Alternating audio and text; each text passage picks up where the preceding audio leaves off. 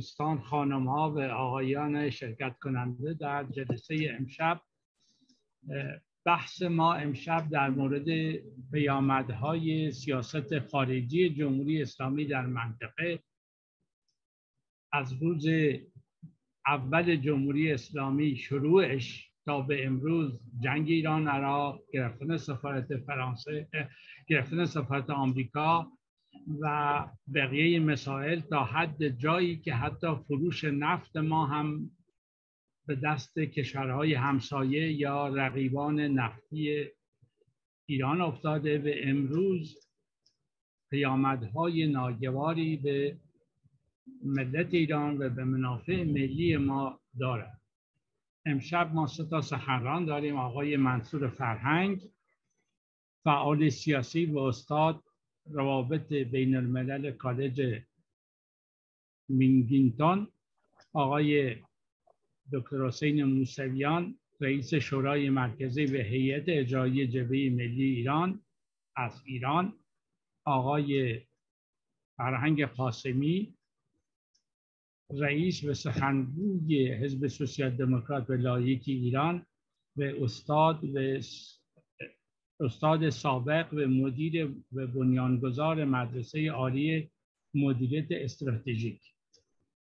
دوستان هر یک نفر سخنرانان 20 دقیقه وقت دارند برای شروع و صحبت خودشون. در مرحله دوم دوستان شرکت کننده سه دقیقه وقت دارند برای سوال کردن یا اظهار نظر یا پیشنهادات. امشب سخنران اول آقای منصور فرهنگ بعد آقای دکتر موسویان و آقای فرهنگ قاسمی خواهند بود. آقای منصور فرهنگ بفرمایید.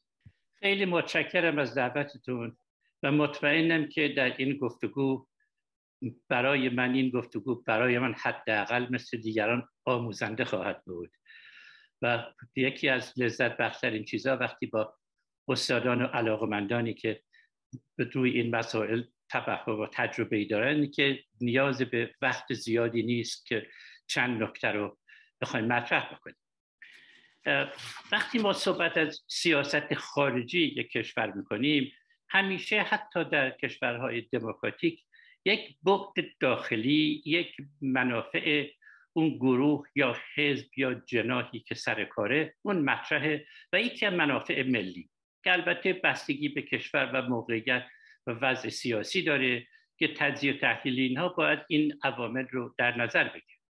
ولی وقتی صحبت از سیاست خارجی در کشورهای استبدادی به طور اهم و کشورهای استبدادی مطلقندیش و تمامیتگرا و به طور کلی ایدئولوژیک صحبت می‌کنیم یک اختلاف اساسی بین سیاست خارجی اون کشور در چارچوب منافع و بینش رژیم و در رابطه با منافع ملی وجود داره. من معتقدم که رژیم ایران کم و بیش مثل دوران استالین اتحاد جماهیر شوروی و تا حدودی تا دوره ماد ستانگ موقعی که بود نقش ایدئولوژی در سیاست خارجی کشور محوری بود. و وقتی به ایران می‌خوام برسم می‌خوام بگم که اینجا به طور رسمی و طبیعی منافع ملی ایران مطرح نبود. بنابراین وقتی رابطه سیاست خارجی ایران تو منطقه صحبت کنیم باید این توجه داشته باشیم که دقیقا مثل اون سه انقلاب دیگه قرن بیستم در روسیه در چین در کوبا و در ایران این اینا با همه تفاوت‌های اساسی که این انقلابات داشتن ولی در دو مورد اون اوائل امر شباهت هایی بینشون هست. یکی اینکه برای خودشون رسالتی برای صدور انقلاب قائل بودن که البته اون ستا می‌خواستن جامعه ای درست بکنن که هرگز در تاریخ وجود نداشته ولی ایران می‌خواست برگرده به جامعه ای که در 1400 سال قبل وجود داشته. ولی به هر حال این رسالت و این به اصطلاح ادعا که می‌خوان به اونجا برسن در اینها وجود داشته و اون نکته ای که باید در نظر بگیریم اینه که در اوائل امر انسان می‌تونن به این به این به اعتقادات صمیمانه صمیمانه دنبال بکنن اعتقاد داشته باشن به حرفایی که می‌زنن قبل از اینکه به قدرت برسن و یا اوائلی که به قدرت می‌رسن. یعنی به هر حال تصویری از دنیا دارن و تصویری از رسالت خودشون و امکانات دارن. که به مطلق اندیشی هم می‌تونه ایدئولوژی که غیر مذهبی باشه و هم مذهبی باشه. بنابراین وقتی آقای خمینی اوائل امر می‌گفت که ملی بودن به درد ما نمی‌خوره و ملیت رو زیر پا میذاشت و به طور کلی صحبت از امت اسلامی و در واقع اسلام رو به عنوان یه ایدئولوژی فراملی و جهانی در نظر می گرفت و در نوشته های خودش و سخنرانی های خودش هم این حرفا زیاد بود. این که او اعتقاد به نظر من هیچ بعید نیست که این آدم اوائل هم صمیمانه به این حرفا اعتقاد داشته باشه. نقطه مهم اینه که در نظر بگیریم اعتقاد داشتن حتی صمیمانه بودن در ارائه و یا مطرح کردن انتقاد به خودی خود ارزش نیست.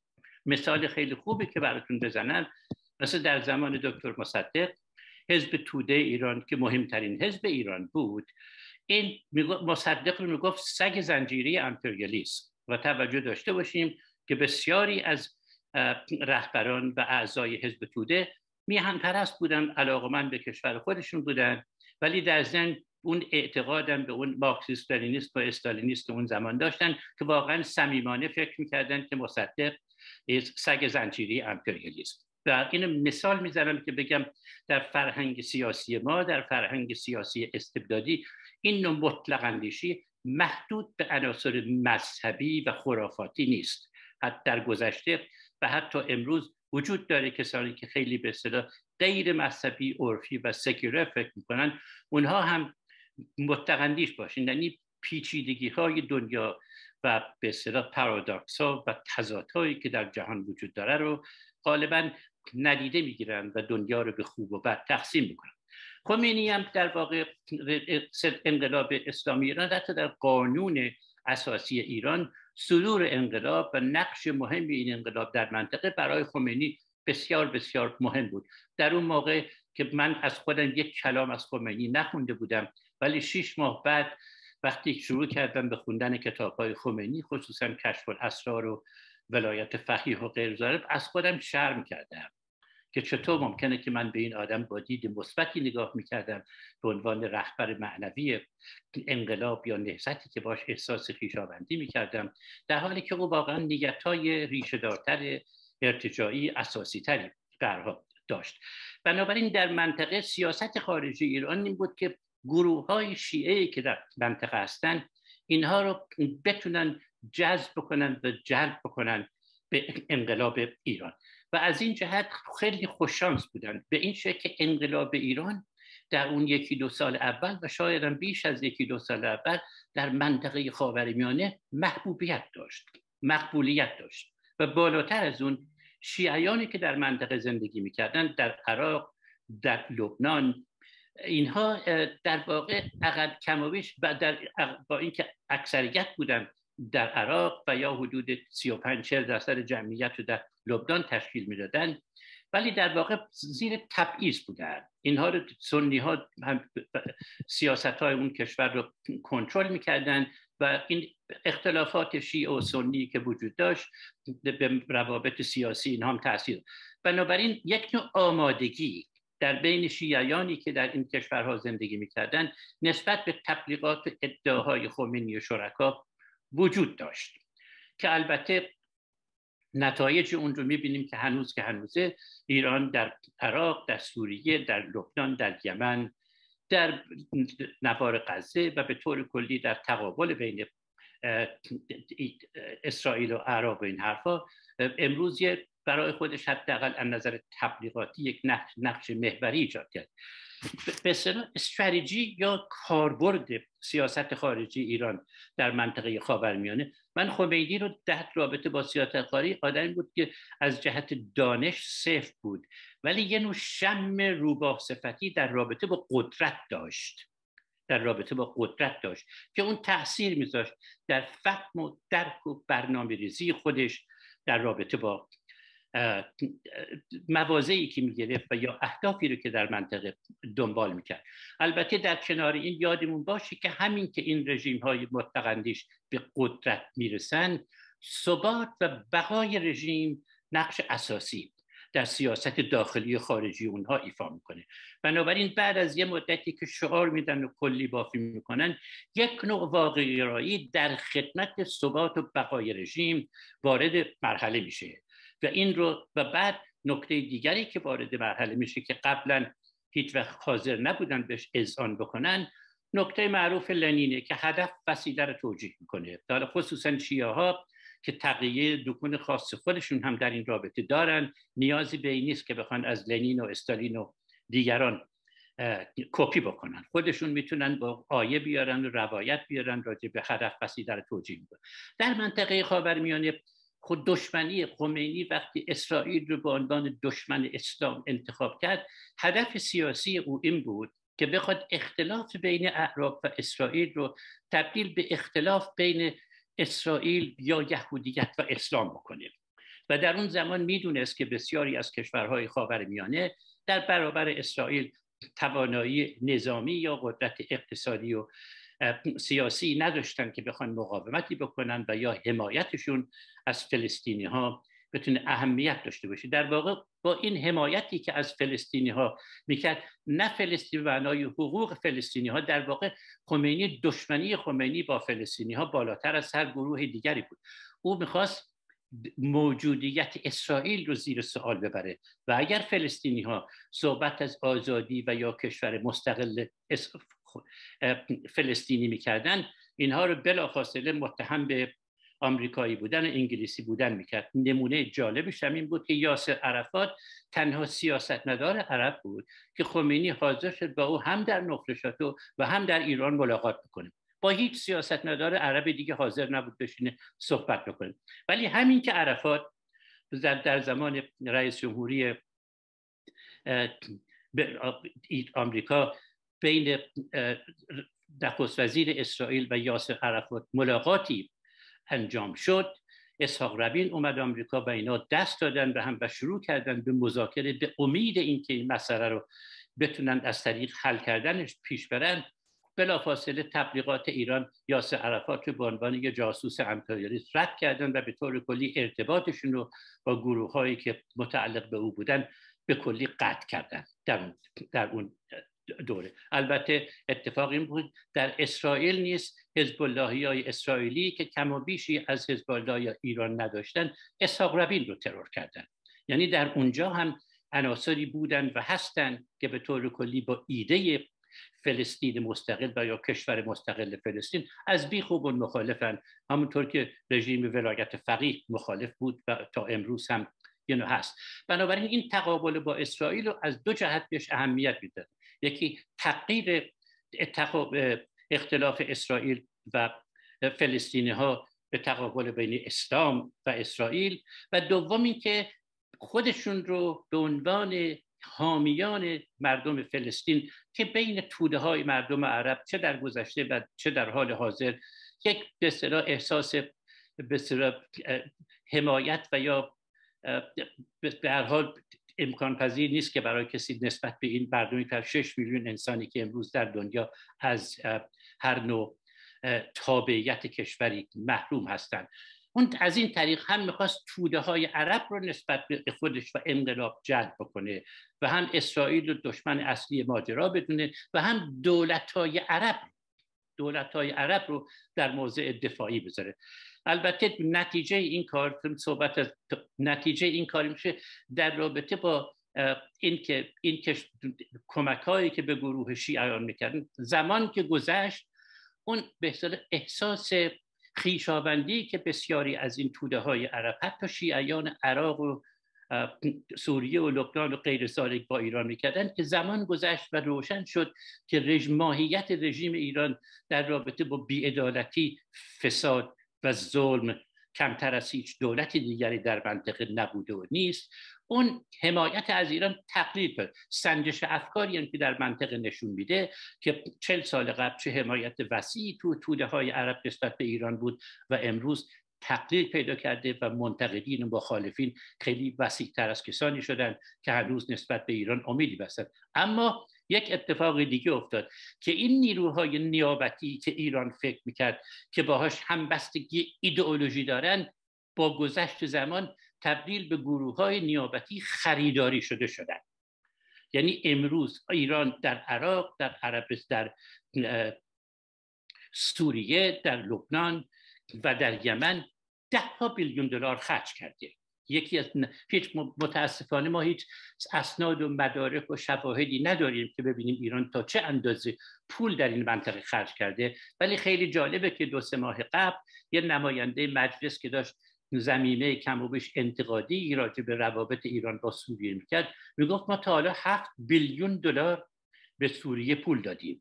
از زبان که این بیا رئیس حزب الله لبنان خیلی سریح روشن گفت ما تمام مخارج خودمون و حتی حقوق خودمون رو نفت خودمون رو به طور رایگان از ایران می‌گیریم. بنابراین این رسالت صدور انقلاب تبدیل به خریداری گروه شد که مسلح شدن اونها و مخارج اونها از طرف ایران پرداخت می‌شد. نکته جالب در اینجا اینه که اون بعد بعد واقع بینی که در اینجا پیش میاد به اون پکمریک دیمنشنی که به اینجا پیش میاد برای این رژیم ها در رابطه با ثبات و بقای خودشون. موقعی که در 2001 ایران به همون اندازه ضد رژیم افغانستان بود که آمریکا و اروپا ایران به هزارها کمک می‌کردن حدود 15 درصد جمعیت افغانستان بودن و هستن تا هم در همون شکل ایران می‌کردن و در واقع در عمل با عربستان سعودی و آمریکا که بیش از 15 بیلیون دلار خرج کردن برای مسلح کردن و آموزش دادن به نیروهای نظامی مجاهدین بر ضد نیروی روسیه اینا هم شرکت می آمریکا ایران اجازه داد به آمریکا از حریم هوایی ایران استفاده بکنه برای بمبارون کردن بعضی مناطق و مسائل زیر کنترل طالبان در افغانستان. که این ضد آمریکایی بودن در اینجا تبدیل به عملی و همکاری عملی بین دو کشور. بالاتر از این موقعی که عراق آمریکا به عراق حمله کرد در سال 2003 ایران به طور رسمی یعنی در این دوره احمد چلابی که نقش بسیار مهمی در قانع کردن آمریکا برای حمله به عراق کرد حدود 20 میلیون دلار از کنگره آمریکا پول گرفت با هدف بسیج کردن نیروهای ضد صدام حسین. در ایران یک دفتر باز کرد و شروع کرد کمک کردن به سپاه پاسداران کمک مادی که بتونن اون سربازان عراقی که در زمان جنگ ایران و عراق شیعه بودند و برنگشتن به عراق در ایران موندن و یا تعدادی از جوانان شیعه که از عراق فرار کرده بودند وارد ایران شده بودند اینها رو حدود دوازده هزار نفر بودن گروه البد رو تشکیل دادن که خیلی جالبه. گروه البد که در ایران مسلح شده و در ایران داره آموزش می‌بینه پولش از از طریق احمد چلابی از طرف کنگره آمریکا وارد اونجا شده. و بعد از آمریکا بعد از آمریکا و انگلستان اولین کشوری که وارد خاک نیروی نظامی وارد خاک عراق کرد بعد از سال 2003 ایران بود. و جالب باز اینجاست برگردیم بعض پراگماتیک رژیم برای ثبات و بقای خودش. به صورت روباه صفتی خمینی و شرکا هیچ نوع اخلاق و معنویت و حقوقی نمیپذیره. ولی وقتی به منافع خودشون می‌رسه در اونجا دقیقا مثل مافیا هیچ هدف وسیله رو توجیه می‌کنه. در اینجا اومدن و این دوازده هزار رو فرستادن به عراق و قسمت های جنوبی عراق بسره و غیر رو. نقش مهمی در اون اوائل برای از بین بردن نیروهای صدام و بسیج کردن شیعیان ایفا کردن اینجا اسرائیل و ایران تنها کشورهای خاورمیانه بودند که از حمله آمریکا به عراق حمایت کردند با بینش های مختلف. اسرائیل در واقع disintegration یعنی از بین رفتن صدام رو صدام و به عنوان بالقوه خطری برای امنیت خودش می‌دید که از بین رفت. اینکه چه بلایی سر مردم عراق میاد براش مطرح نبود. ایران با این انگیزه که می‌خواد به شیعیان کمک بکنه که بتونه در اونجا به هر دولتی که پیش میاد شباهتی و یا زیر نفوذ ایران باشه که باز در اونجا می‌بینیم نتیجه این شده که امروز عراق کارش به جای رسیده که مردم دلشون برای صدام حسین تنگ شده. در سوریه در سوریه ایران نیروی زمینی روسیه رو بازی کرد. روسیه به دلیل اینکه در افغانستان بیش از 15 هزار کشته داده بود و این باعث نارضایتی و نارضایتی وسیع مردم شده بود به سوریه که رسید حاضر نشد نیروی زمینی به سوریه بفرسته. کارشون فقط بمبارون سوریه و خصوصا مناطق مسکونی بود. تا جایی که این بمبارون ها از 20 میلیون جمعیت سوریه 10 میلیون آواره شدند که از این ده میلیون نیمیشون هنوز در داخل خود کشور آواره و گرسنه در شرایط بسیار سخت زندگی می‌کنن و نیمی دیگه به کشورهای دیگه مهاجرت کردن. این هم هنوز که هنوزم هست ایران در واقع به عنوان ابزار سیاست خارجی روسیه در سوریه وجود داره. برای اینکه روسیه خودش به هیچ وجه نمی‌خواد که نیروی نظامی به اونجا نیروی زمینی نظامی به اونجا بفرسته. و بالاتر از این خیلی جالب می‌خوام این مثال های مشخصی راجع به بعد واقع بینی ولایت فقیه یا فاشیست مذهبی حاکم بر ایران صحبت بکنم. موقعی بود که ایران دو سه ماه بعد از اینکه جنگ ایران و عراق شروع شده بود اول به جنگ ایران و عراق از نظر حقوقی صدام حسین مسئول بود. ولی از نظر سیاسی و زمین درست کردن برای جنگ چون و چرا نداره که مسئول خمینی بود که دلایل و اسناد و مدارکش بسیار وسیعه. و در تابستون در سه چهار ماه بعد از اینکه جنگ گذشته بود این ایران تمام هلیکوپترهای آمریکایی که استفاده کرده بود اینا با مشکل برخورده بودن نیاز به, به ابزاری داشتن که فقط می‌تونستن تو بازار قاچاق بخرن قطعات یدکی خصوصا برای اینکه تعمیر کردن اینها. و اینا رفتن مسئولین اینا رفتن در اروپا و دیدن که کسانی که حاضر اینا رو بفروشن اسرائیله. وقتی به خمینی گفتن که این اسلحه رو که ما داریم می‌خریم در بازار قاچاق اینا از اسرائیل میاد گفت آیا فروشندگان اسرائیلی هن؟ وزیر دفاعشون گفت نه اینا ایتالیایی و اسپانیولی گفت ما از نظر شرعی مسئولیت نداریم از اینا بپرسیم که جنس رو از کجا میارن. که این باز نمونه به جالب این سیستم. اینه که این سیاست خارجی امروز در اونجا ادامه بده. بنابراین اگر ما این سیاست رو در رابطه با منافع رژیم یعنی رسالت رژیم که می‌خواد می‌خواد انقلاب رو صادر بکنه از اون جهت بهش نگاه بکنیم جز مخارج وسیع براشون و جز به صدا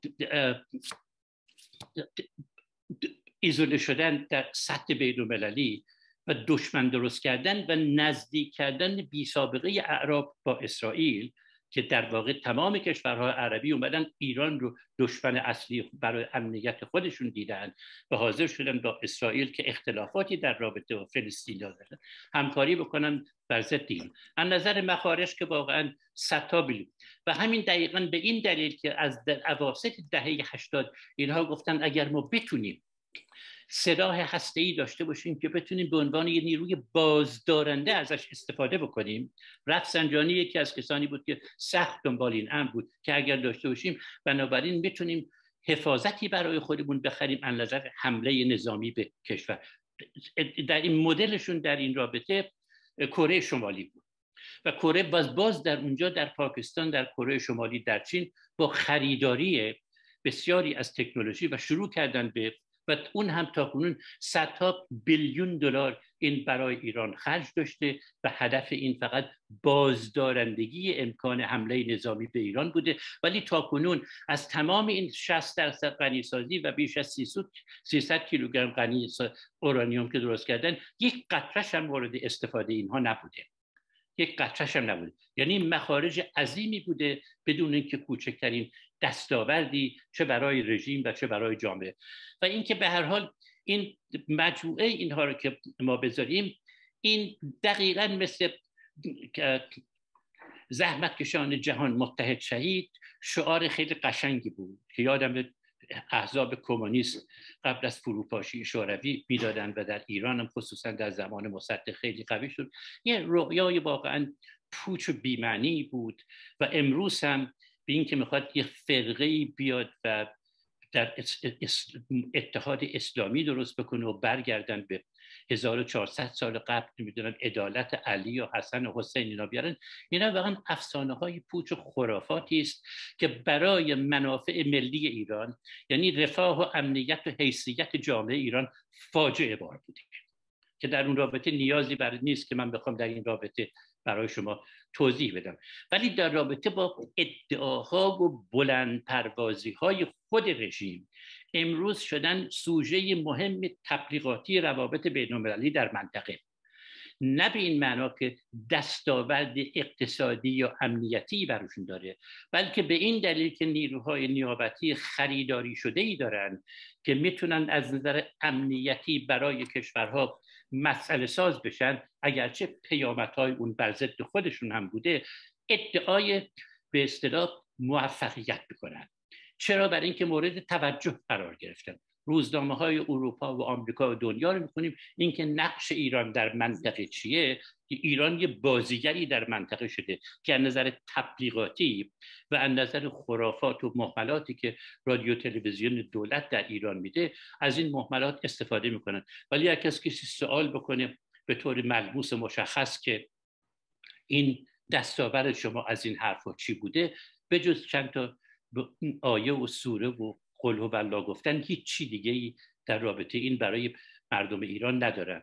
آخرین نکته ای که واقعا بخوام بگم که ظلم بزرگی که این سیاست صدور انقلاب سیاست رسالت انقلاب که خمینی گفت جنگ چیز خوبی است. باور داشت که جنگ چیز خوبیه. چرا؟ برای اینکه مدل مدل سیاست خارجی او در منطقه و تحکیم روی اسلام دقیقا مدلی بود که از گسترش اسلام در زمان محمد که در تمامش زمان جنگ بود.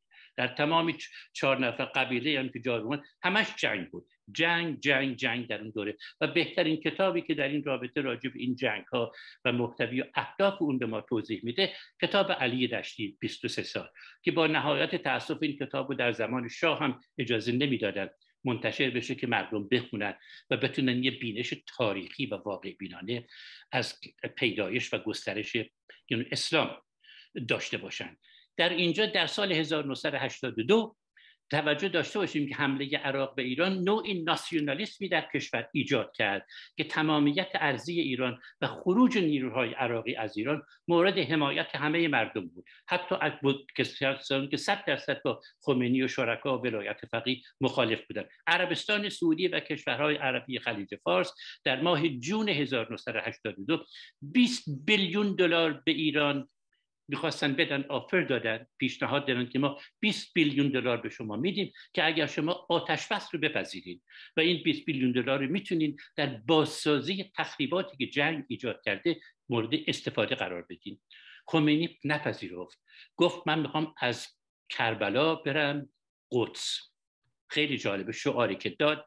برمیگرده به اون که بینشش نسبت به اسرائیل چی بخواد. از کربلا به قدس که البته شش سال دیگه هم گذشت و وقتی بهش گفتن که داریم میبازیم امکان ادامه جنگ برای ما وجود نداره. اون بخش واقع گرایی یا پرگماتیک اومد تو کلش گفت باید بپذیریم حتی اگر محکوم این باشه که من زهری رو خوردم. بنابراین این مجموعه نکاتی است که خیلی در این مدت دارم بتونیم راجع سیاست خارجی ایران در منطقه مطرح بکنیم. امیدوارم که در گفتگو با دوستان بتونیم برای من آموزنده باشه که نکات بیشتری رو از یاران و همراهان بشنوم. خیلی متشکرم. خیلی ممنون دکتر منصور فرهنگ. آقای موسویان امروز 69 سالگرد کودتای 28 مرداد به بحثای ما پیامدهای سیاست خارجی جمهوری اسلامی در منطقه است. یعنی بعد از 16 سال انقلاب مشروطیت به 69 سال بعد از کودتا همینطور که آقای منصور فرهنگ توضیح دادن سیاست های نامتجانس جمهوری اسلامی از روز به قدرت تا به امروز جز ضرر و علیه منافع ملی ما ادامه می‌دهد. بفرمایید آقای موسویان برای مدت 20 دقیقه. آقای موسوی با درود به حاضرین در جلسه و درود به هموطنان عزیزم. از مهمترین اشتباهات و انحرافاتی که سردمداران جمهوری اسلامی و کسانی که های قدرت رو به دست آوردن پس از انقلاب 57 مرتکب شدن اشتباه در سیاست خارجی هست. چه در سیاست خارجی به طور کلی چه در مورد کشورهای همسایه که اینا البته زیاد نامربوط هم نسبت به هم نیستن و با هم دیگه ارتباط دارن. خب یک انقلابی در ایران اتفاق افتاد. انقلاب یک پروسه است که در بستر زمان شکل می‌گیره و کار یه شب و یه روزه و یه ساله نیست. مسائلی که از 28 مرداد اتفاق افتاد که حالا شما سال روزشم یادآوری فرمودید. و دولت ملی و مردمی و وطن دوست و آزادی خواه دکتر مصدق براندازی شد در کشور ما و کودتاچیانی که مسلط شدن رفتاری کردند چه از نظر حقوق بشر و آزادی ها و حقوق ملت ایران چه از نظر سیاست خارجی و زیر سلطه کامل قدرت های غربی رفتن. مرتکب اعمالی شد که ما رسیدیم به انقلاب 57 و در حقیقت انقلاب 57 انقلابی بود که ملت ایران انجام داد برای اون سوء رفتارها و سوء سیاست هایی که در رژیم سابق وجود داشت. خب بعد از انقلاب ملت ایران مایل بود که یک سیاست مستقل ایرانی در پیش گرفته بشه. همینجور که در شعارها گفته می‌شد قبل قبل از انقلاب نه شرقی نه غربی. و خب میلیون و روشنفکرانی هم که در انقلاب به هر حال حضور داشتن و همه ها حضور داشتن مایل بودن که سیاست خارجی تبیین شده به وسیله دکتر مصدق که همون سیاست موازنه منفی و ندادن امتیاز به بیگانگان و به اصطلاح تعامل با تمام جامعه جهانی به طور یکسان و زیر سلطه قدرتی نرفتن اینها موازین سیاست خارجی دکتر مصدق بود. و ملت ایران انتظار داشتن که حالا بعد از انقلاب یه چنین سیاست هایی در پیش گرفته بشه که متاسفانه به هیچ وجه چنین چیزی مشاهده نشد و به گمان من انحرافات به تدریج از همون روز اول پیروزی انقلاب به تدریج اتفاق افتاد و یک باره نبود که سیاست خارجی به این سمت و سوی که الان شاهد هستیم به اصطلاح کشیده بشه. خب این سیاست به اصطلاح اسلامگرایی و حکومت جهانی شیعه اینها در قانون اساسی جمهوری اسلامی بود که ظاهر شد و شکل گرفت و جز قانون اساسی هست. در حالی که در, در آغاز پیروزی انقلاب قانون اساسی بسیار قابل قبول و مترقی توسط تیمی که دکتر ناصر کاتوزیان و همکاران تهیه کرده بودند به اصطلاح پیدا شده بود و اون قانون اساسی حتی به امضای آقای خمینی هم رسیده بود و ایشون هم تایید کرده بود در اون زمان. خب یه دست های پیدا شد که حالا اینا باید مورد بررسی قرار بگیره که این قانون اساسی که امضا هم شده بود به وسیله رهبر انقلاب و قرار بود که به همه پرسی گذاشته بشه و مردم هم تاییدش بکنن و به اجرا در بیاد. این قانون اساسی کشونده شد به مجلس خبرگان. مجلسی که یه ده روحانیون دور هم نشسته بودن.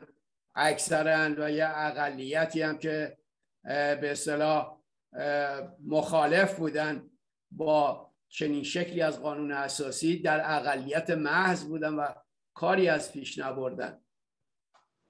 و به این ترتیب در قانون اساسی که در مجلس خبرگان به تصویب رسید مسئله کمک به نهزت های اسلامی که شما بخوانید نهزت های شیعه و شیعگری و دفاع از اونها و دادن کمک به اونها و لوجستیک به اونها و دخالت در اصطلاح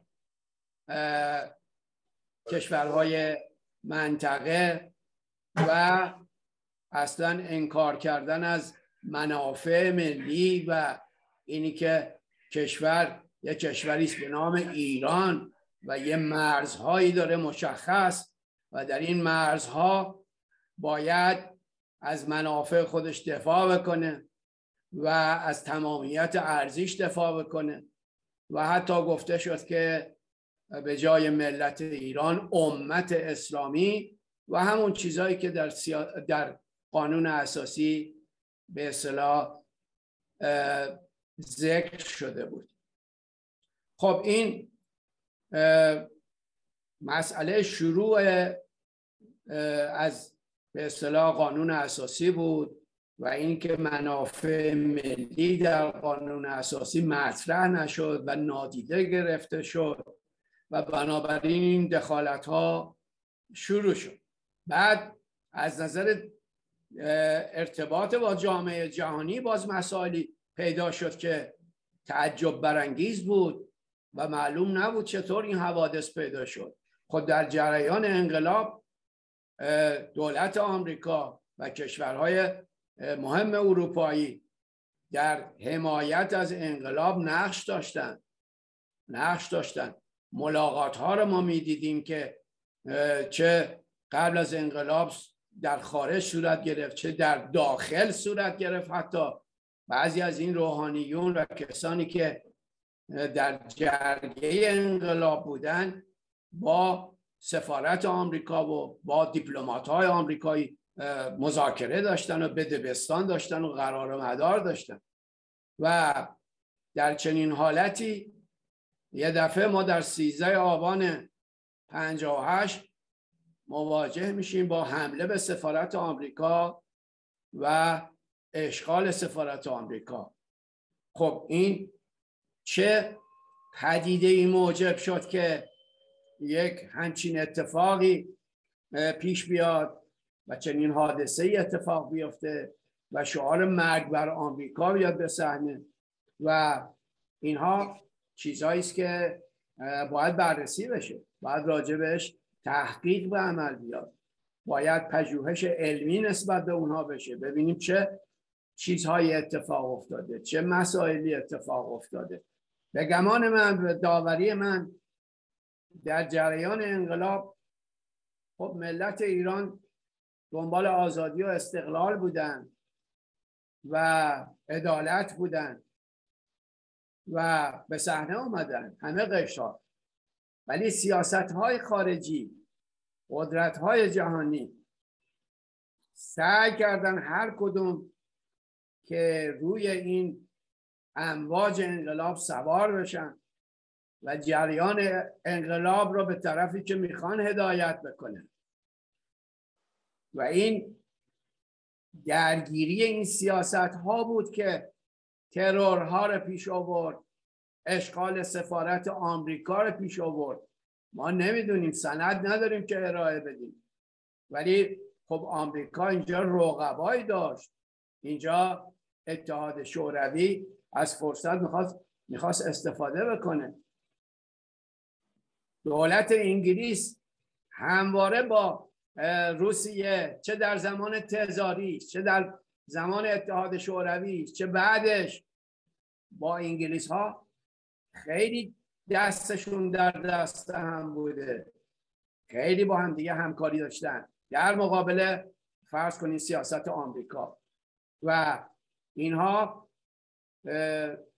می‌تونه علت اون حمله به سفارت آمریکا و اشغال اون سفارت خونه و اون 444 روز گروگانگیری رو میشه در این مسائل جستجو کرد. و بعدم بر به اصطلاح به هم خوردن روابط و پیامدهای اون که به گمان من جنگ عراق و ایران از به اصطلاح مسائلی است که به دنبال اشغال سفارت آمریکا اتفاق افتاد. و آمریکا بود که چراغ سبز به صدام حسین نشون داد و حمله به ایران رو قبول کرد که اتفاق بیفته و صدام حسین بدون چراغ سبز این کار رو انجام نمی‌داد.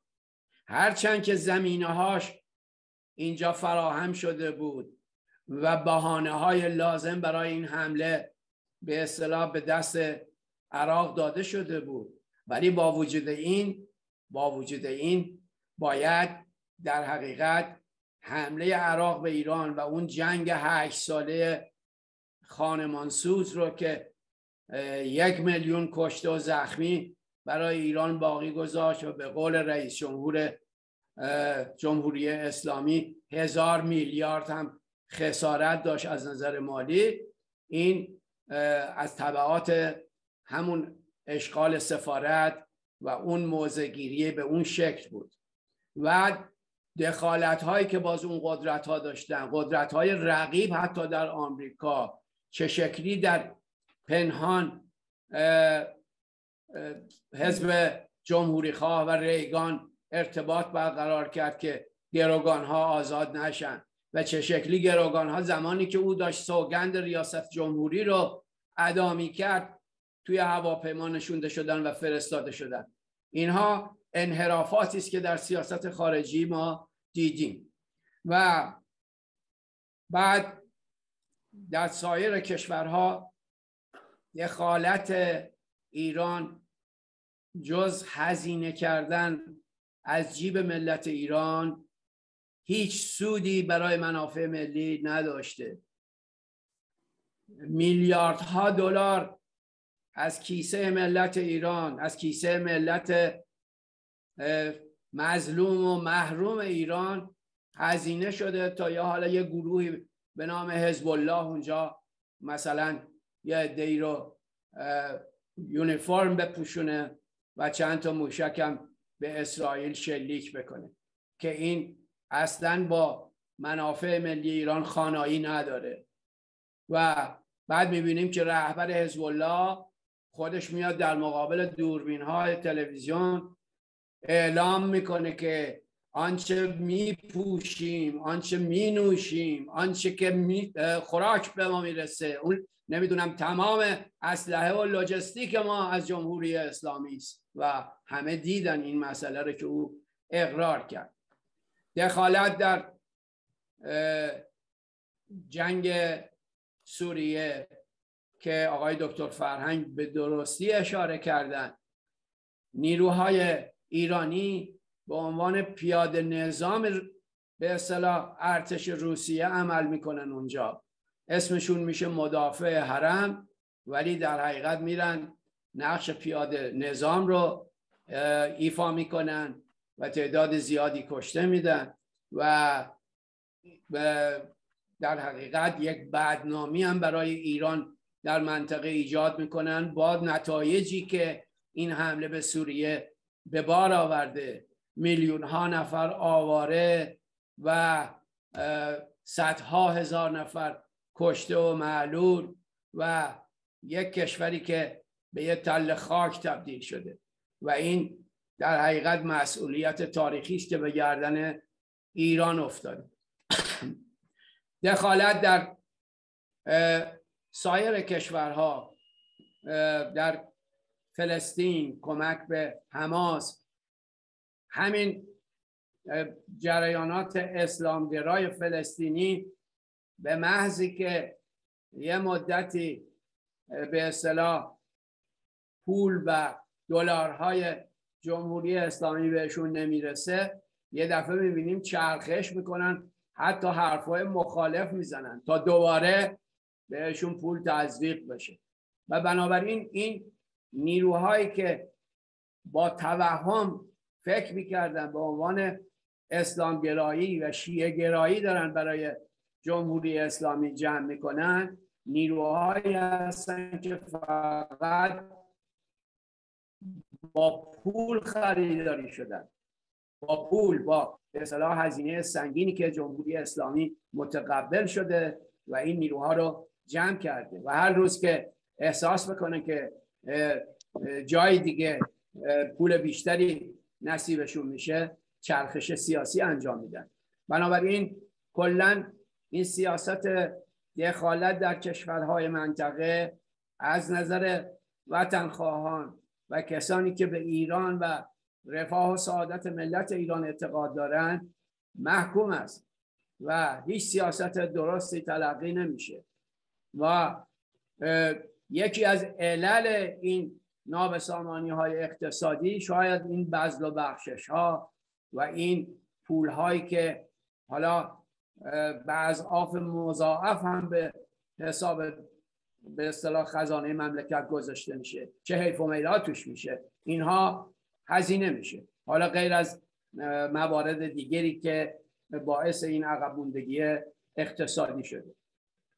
به هر صورت میشه گفت که این دخالت هایی که جمهوری اسلامی در کشورهای منطقه انجام داده و اشتباهات سیاست خارجی که از اول مرتکب شده مبنا و اساس این گرفتاری و سیاه روزی امروز ملت ایران هست و این اشتباهات تا اونجایی به اصطلاح پیش رفته که امروز حتی این روسیه هستش که باید مذاکرات ایران با پنج به اضافه یک رو هدایت بکنه و مسیر رو تعیین بکنه.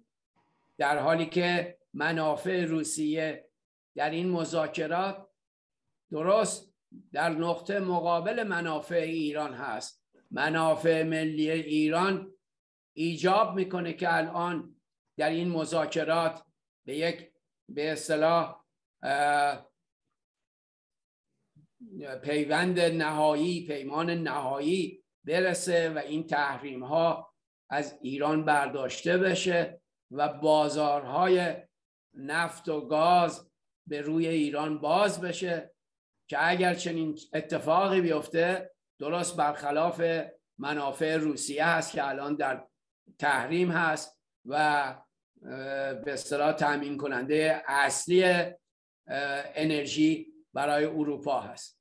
و اگر منافع ملی در بین باشه و آینده این کشور و رفاه و سعادت این ملت در نظر گرفته بشه باید حتما این مذاکرات به نتیجه برسه و این گرفتاری ها از دست و پای ملت ایران این زنجیرها باز بشه و آینده بهتری برای ایران پیدا بشه.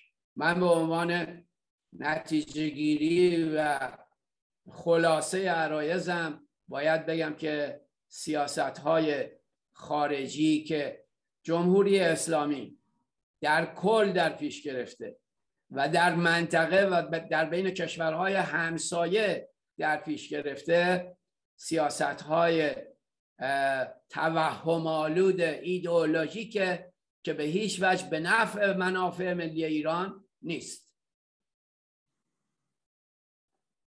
خیلی ممنون دکتر موسویان. دوستان در بخش دوم دوستان حاضر در جلسه می‌تونن وقت بگیرن سوال کنن از پیشنهاد بدن و یا انتقاد بکنن. سخنران سبب ما امشب آقای دکتر فرهنگ قاسمی هستن. آقای قاسمی بفرمایید. با درود خدمت حاضرین در این نشست و سپاسگزاری از دو سخنران قبلی آقای دکتر فرهنگ و آقای دکتر موسویان. و با درود بر هممیهنان عزیز. امروز 28 مرداد هر کدوم از ما خاطراتی از این روز داریم و همه این خاطرات فکر می‌کنم که تلخ بوده. چون نخستین و تنها. حکومت ملی و قانونی در ایران با همکاری قوای خارجی و مزدوران داخلی سرنگون شد و علیهش کودتا شد. به نیکی از محمد مصدق یاد می‌کنم. تیتر این بحث بحث امشب پیامدهای سیاست جمهوری اسلامی در منطقه هست. پیامدها یا تبعات من سعی می‌کنم با توجه به این تیتر عرایزم رو در سه مبحث در اینجا بیان بکنم. در این تیتر ما یک پیامدها داریم یک سیاست داریم یک جمهوری اسلامی و منطقه. اگر اینها رو باز بکنیم اولین مسئله که مهمتر از همه است مسئله کشورداری یعنی سیاست. و کشورداری و سیاست شامل دو شاخه بزرگ شاخه داخلی و شاخه خارجی این دو شاخه به هم دیگه پیوسته هستند. این دو شاخه در کشوری مثل ایران نمی‌تونن از هم جدا باشن. در همونطور که دکتر فرهنگ گفتن در برخی از کشورها می‌تونن به یه شکلهایی با هم کنار بیان. ولی در کشوری مثل ایران آنچه که از نقطه نظر جوهر کار سیاسی در سیاست داخلی انجام میشه اثر مستقیم می‌ذاره در سیاست خارجی پس این دوتا رو نباید از هم جدا کرد. چرا اینو عرض کردم؟ برای اینکه بیام به مسئله جمهوری اسلامی. بیام بگم که قبل از این جمهوری اسلامی تمام حرکات شعار مبارزات در داخل و در خارج از کشور عمدتا برای سه موضوع مهم بود. استقلال آزادی دموکراسی. استقلال به مفهوم مستقل بودن تک تک افراد در تصمیم گیری های خودشون در مسائل عمومی و در مسائل خصوصی. استقلال در زمینه بین المللی و خارجی کشور و حاکمیت اختیار داشته باشه استقلال داشته باشه در مذاکراتی که با دنیا می‌کنه مستقلا بدون اینکه عوامل زی نفوذ و عوامل زی نف در اون بتونن دخالت بکنن تصمیم خودشو بگیره. کاری که دکتر مصدق در دیوان لاهه کرد و در بقیه جاهایی که چه در داخل و چه در خارج انجام داد. و آزادی. آزادی از همه نظرات در همه حوزه ها و زمینه ها برای اینکه انسان انسانی آزاد در جامعه باشه و رها از هر چیز بتونه تصمیم آزادی خواهانه خودشو بگیره. سومین شعار شعار دموکراسی بود. که اگر این دوتا انجام می‌شد طبیعتا دموکراسی هم می‌تونست رشد پیدا کنه می‌تونست حرکت بکنه می‌تونست اون حالت روانهی خودش رو یواش یواش در جامعه در جامعه ای که به حال انقلاب مشروطه رو داریم گذشت داریم اومدیم دوران رضاشاه رو پشت سر گذاشتیم.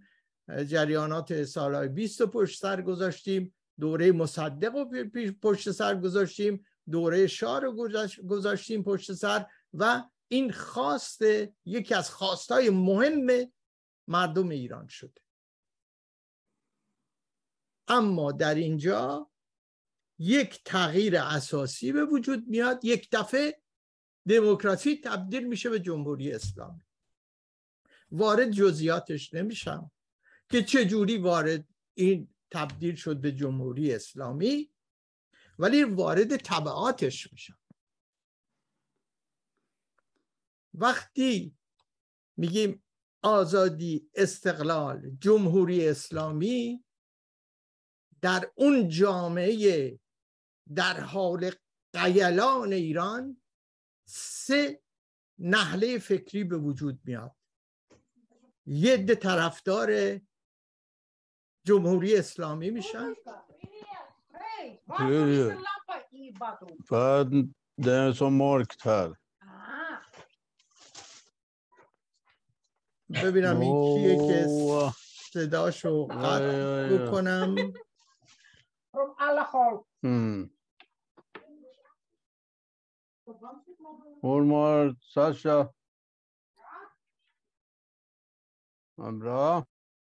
بله صداشو قطع کردم. نمی‌دونم که یه ام اومده اگر ادامه بده بیندازمش بیرون. و یک عده باور می‌کنن به اینکه بله جمهوری اسلامی می‌تونه وجود داشته باشه و براش تعریفی و براش دلایلی رو میارن و باور می‌کنن. یه عده باور نمی‌کنند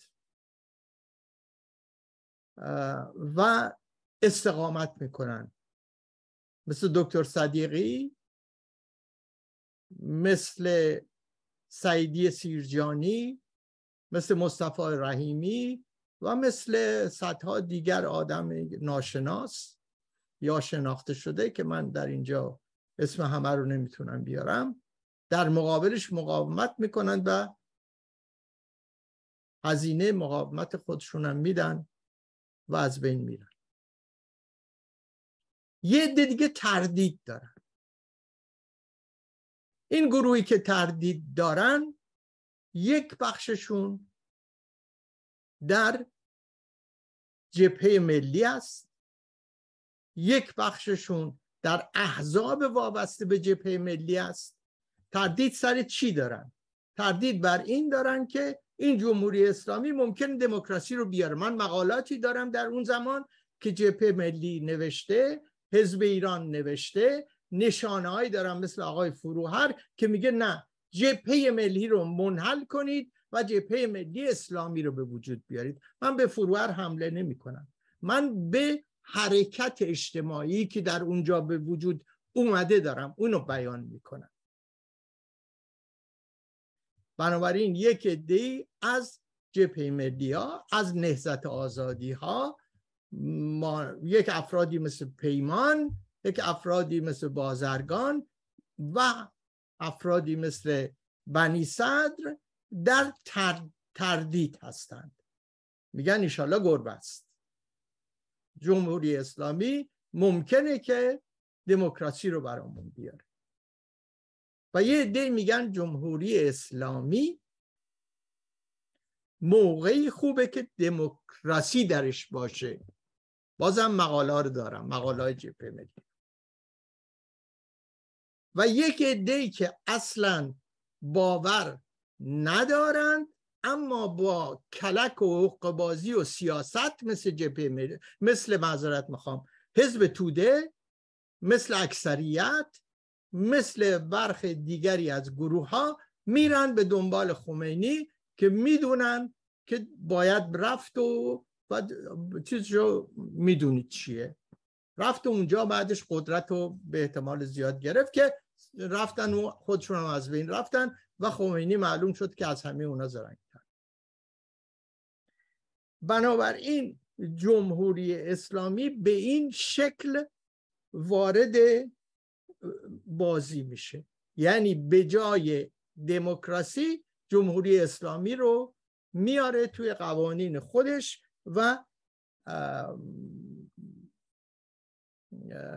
به تصویب میرسونه رفراندوم می‌کنه و تو قانون اساسی عوض می‌کنه. تمام. خب از اینجاست که قضیه عوض میشه. یعنی ما برمیگردیم میگیم یه چنین حرکتی شده. ما سیاستی داشتیم که اون سیاست جمهوری اسلامی بوده و این شروع کرده به یک سری کارهایی برای کشورداری که در ارتباط با دو حوزه است حوزه داخلی و حوزه خارجی. در حوزه داخلی مخالفین رو سرکوب می‌کنه در حوزه خارجی به دنبال گسترش شیعه و نه سنی و نه مذهب و نه دین اسلام بلکه مذهب شیعه شروع می‌کنه به حرکت کردن و شروع می‌کنه در منطقه هم جنگ افروزی و هم دفاع کردن از منافع یا دفاع کردن از جریاناتی که واقعا مسئله حتمی ملت ایران نیست. مسئله فلسطین جای خودش باید احترام گذاشت باید ازش دفاع کرد فران کرد. ولی مسئله ما نبوده مسئله ما نیست و وارد یک سری مسائلی میشه که به پشت اون جنگ های مختلف به وجود میاد و در منطقه جنگ افروزی به وجود میاد. به طوری که ایران در جمهوری اسلامی در دهه گذشته نه امسال ها در واقع چهار تا کشور زیر نفوذ خودش در خاور در کشورهایی که بهش گفته میشه خاور میانه داره مانند لبنان عراق سوریه و تا حدی افغانستان. خب در یک چنین شرایطی تمام ثروت و اون جامعه دیگه جامعه آرومی نیست. تمام ثروت صرف جنگ میشه. پیامدهاش چی میشه؟ پیامدهای یک جامعه که در داخلش آزادی نیست استقلال نیست و در خارج در حال جنگ و مرتب ثروت ملت ایران برای جنگ ها در منطقه و برای گسترش شیعه داره خرج میشه. پیامدهاش که موضوع این داست جلسه امشب ما چیست؟ یک پیامد بزرگ داره. یک پیامد مخرب داره. یک پیامدی داره که بزرگترین لطمات رو بر ایران زد. و اون پیامد فرار نیروی انسانی و ثروت هایی که کارآفرینان ثروت هایی که متخصصین ثروت هایی که مدیران می‌تونستند با کاردانی خودشون در ایران برای ایرانی آینده ایرانی خوب به کار ببرند به خارج میارن و به کشورهای دیگر میرن و در اونجا شروع می‌کنن اینها رو صرف کردن و تولید کردند و نیروی انسانی که در ایران تا حدودی تربیت میشه اینقدر براش خرج میشه که تا تربیت بشه میاد به کشورهای خارج. از این بهتر چی می‌خواید برای کشورهای اروپایی و امریکایی. شما نیروی انسانی تربیت کنید پولم که داشتن در اختیارشون بذارید و اینها رو بیارید به خارج ازشون استفاده بکنید. بزرگترین پیامد و بزرگترین ضربه که به جامعه ایران خورد. پیامدهای دیگر به نظر من هستند مهمن. ولی در درجات بعدی قرار دارن یکی از اونها برجام مسئله اتمه.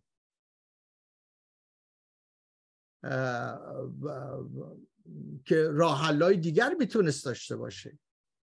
اگر یک حکومت ملی بود اگر واقعا حکومت ملی بود واقعا نمی‌رفت به دنبال نه تسلیات اتمی و نه حتی استفاده از اتم برای انرژی بلکه استفاده از اتم می‌رفت برای کارهای پزشکی علمی و چیزهای دیگه. بنابراین این یکی از اونها مسئله برجامی که ببینید ما تا کجا آورده. ببینید که ما الان ایران مرتب صحبتش هست. و مرتب سر اینه که یک کشور تروریستیه و یک کشوریه که با دنیا نمی‌سازه و می‌خواد تسلیحات اتمی به وجود بیاره در صورت که اگر یک حاکمیت ملی بود می‌شد این کار انجام داد در ارتباط با می‌شد به شکل همکاری با کشورهای دیگر این کار رو انجام داد و استفاده کرد برای کارهای علمی. یکی دیگش از پیامدها و مهمترینه که این هم خیلی مهمه تنزل انسان ایرانی به تروریسم. تنزل ایرانیت برای اینکه رئیس جمهورش یک آدمکش جلاد مثل رئیسی باشه که بخواد به سازمان ملل بله این هستن پیامدهاش. اینه که ایرانی رو توی خیابونهای اروپا به عنوان تروریست نگاه بکنند. توی مرزها که وقتی رد میشید به عنوان تروریست نگاه بکنند. می‌دونید چقدر طول خواهد کشید تا اینها از بین برن؟ می‌دونید که ما این پیامدها رو هنوز به دقت نمی‌شناسیم چیا هستند. من لیست پیامدها رو اگر بخواید اینجا دارم. براتون می‌خونم ولی چند تاشو بهتون میگم. قراردادهایی که با روسیه و با چین بستن. می‌دونید تا کی گردن ملت ایران رو این خواهد گرفت؟ پیامدهایی که از نقطه نظر محیط زیست باید انجام می‌شد نشده و باز جز کارهایی که باید انجام بشه. بی احترامی به حقوق بشر. کشتن انسان ها زندان کردن انسان ها بهترین جوانان ایران رو تو زندان نگه داشتن. بهترین مبارزین ایران رو کشتن. اینها هستند پیامدها. دولت راندخار به وجود آوردن. دخالت در کشورهای خارجی کردند. ما می‌تونستیم یک سیاست مسالمت آمیز دوستانه با همکاری در منطقه و با کشورهای دیگر داشته باشیم. با این همه ثروت که داشتیم با این همه امکانات که داشتیم اگر یک حکومت ملی می داشتیم که باید داشته باشیم. و به نظر من ملت ایران لیاقت داشتن یک حکومت ملی رو داره. ما به راحتی می‌تونستیم و می‌تونیم جلوی یه بخشی از این پیامدها رو بگیریم. ما پیامدهای دیگری که یه چند تای دیگرش هم نام ببرم این تمام مسائل علمیه. شما از نقطه نظر ببینید در دوره های گذشته من نمی‌خوام برگردم بگم زمان شاه این کار می‌شد اون کار می‌شد. ولی نیروی انسانی ایرانی در اون دوره و در دوره قبل از انقلاب می‌دونید در در مجلات علمی چقدر مقالات علمی می نوشتند الان تعداد اونها اونهایی که از ایران بیاد به یک سوم نرس هم از یک سوم هم کمتره. در صورتی اونهایی که به خارج از ایران اومدن در مقل... در مجلات علمی راجع به اکتشافات از نقطه نظر چه صنعتی چه علم دقیقه چه علوم اجتماعی در مقام بالا قرار دارند. من اینجا راجع به پیامدها تموم می‌کنم. و عرض می‌کنم که وقتم هم تموم شده. بعد اگر وقت شد راجع به بعد صحبت می‌کنم. راجع به آینده ای که ما باید داشته باشیم صحبت بکنم. خیلی متشکرم. خیلی ممنون آقای قاسمی. دوستانی که وقت گرفتن آقای امین بیات و آقای مزدک دیماکشی. آقای بیات بفرمایید. آقای امین بیات بفرمایید.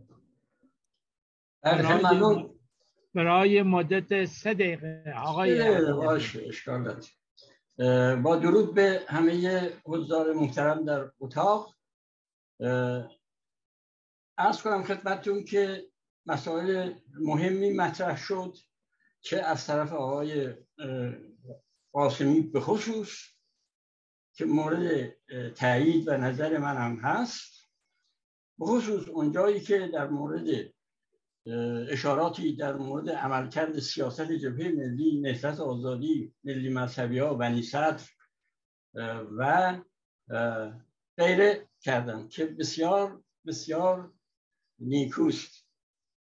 و من با آقای قاسمی به سهم خودم میگم. اما در مورد نظرات دو نفر دیگه به خصوص آقای موسویان. آقای موسویان طوری صحبت رو شروع می‌کنن که البته صحبتشون مثبت بود. خیلی مطالب مثبتی هم در میان صحبتشون بود. ولی آنچه که به نظر من نمی بایست مطرح می‌شد به این صورت آقای موسویان میگن که جمهوری اسلامی ایران اشتباهاتی کرده و به قول معروف ایراداتی داشته. و این سیاست و این گونه برخورد در واقع با سیاست رهبری جبهه ملی در اوایل انقلاب هیچ تفاوتی نداره یعنی اینکه به نظر من از آنجایی که آمریکا و انگلیس علیه حکومت ملی دکتر مصدق کودتا کردند و امپریالیسم اروپا و آمریکا خمینی رو آوردند. حالا جبهه ملی و حزب توده و مجاهدین و امثالهم در واقع همسو با هم و بدون در نظر گرفتن منافع دراز مدت ملی مردم ایران از خمینی به حکومتش دفاع کردن. یعنی شناخت نداشتن از اسلام و خمینی با وجودی که خب باید می داشتن یعنی به خصوص چنین تشکیلاتی که ادعای رهبری داشت و ادعای حکومت داشت. به نظر من بردن چنین الفاظی در مورد نظام جمهوری اسلامی کار درستی نیست. جمهوری اسلامی نسبت به منافع مردم ایران و کل مردم ایران خیانت کرده. یعنی این در این خیانت به نظر من این احزابی که ازشون من نام بردم در واقع شریکن. یعنی اینکه جبهه ملی حالا از حزب توده یک نیروی وابسته بود. یک نیروی دست نشانده کاگبه بود. ولی آیا رهبران جبهه ملی می‌خواستن به وسیله حکومت خمینی استقلال آزادی و دموکراسی در ایران رو وجود بیارن؟ آیا این آگاهی رو داشتن که خمینی چنین ماهیتی داره؟ به نظر من نداشتن. یا اگر داشتن دنبال قدرت بودن. یعنی رفتن پشت به مردم کردن و از خمینی و در واقع دستش حمایت کردن و مردم رو در شرایطی که امروز دارن شریکن درش. حالا وقت برای خیلی کمه ولی آقای سخنگوی اول مطالبشون برای منم آموزنده بود و از اونجایی که من معتقدم که منافع ملی در واقع برای جمهوری اسلامی در ارتباط با مردم ایران اصلا از روز اول مطرح نبوده و افرادی که نادانسته و غیر سیاسی در اول انقلاب خود آقای سخنگو فرمودن که اشتباه کردن بسیار عالی. اگر رهبران دیگر جنبش هم به این اشتباه اسهام کنن خب مردم ازشون میپذیرن ولی اگر اشتباهشون رو نگن و اسهام نکنن و از مردم عذرخواهی نکنن خب خیلی حرفای قشنگ هم بزنن مورد توجه مردم نیست. و از اونجایی که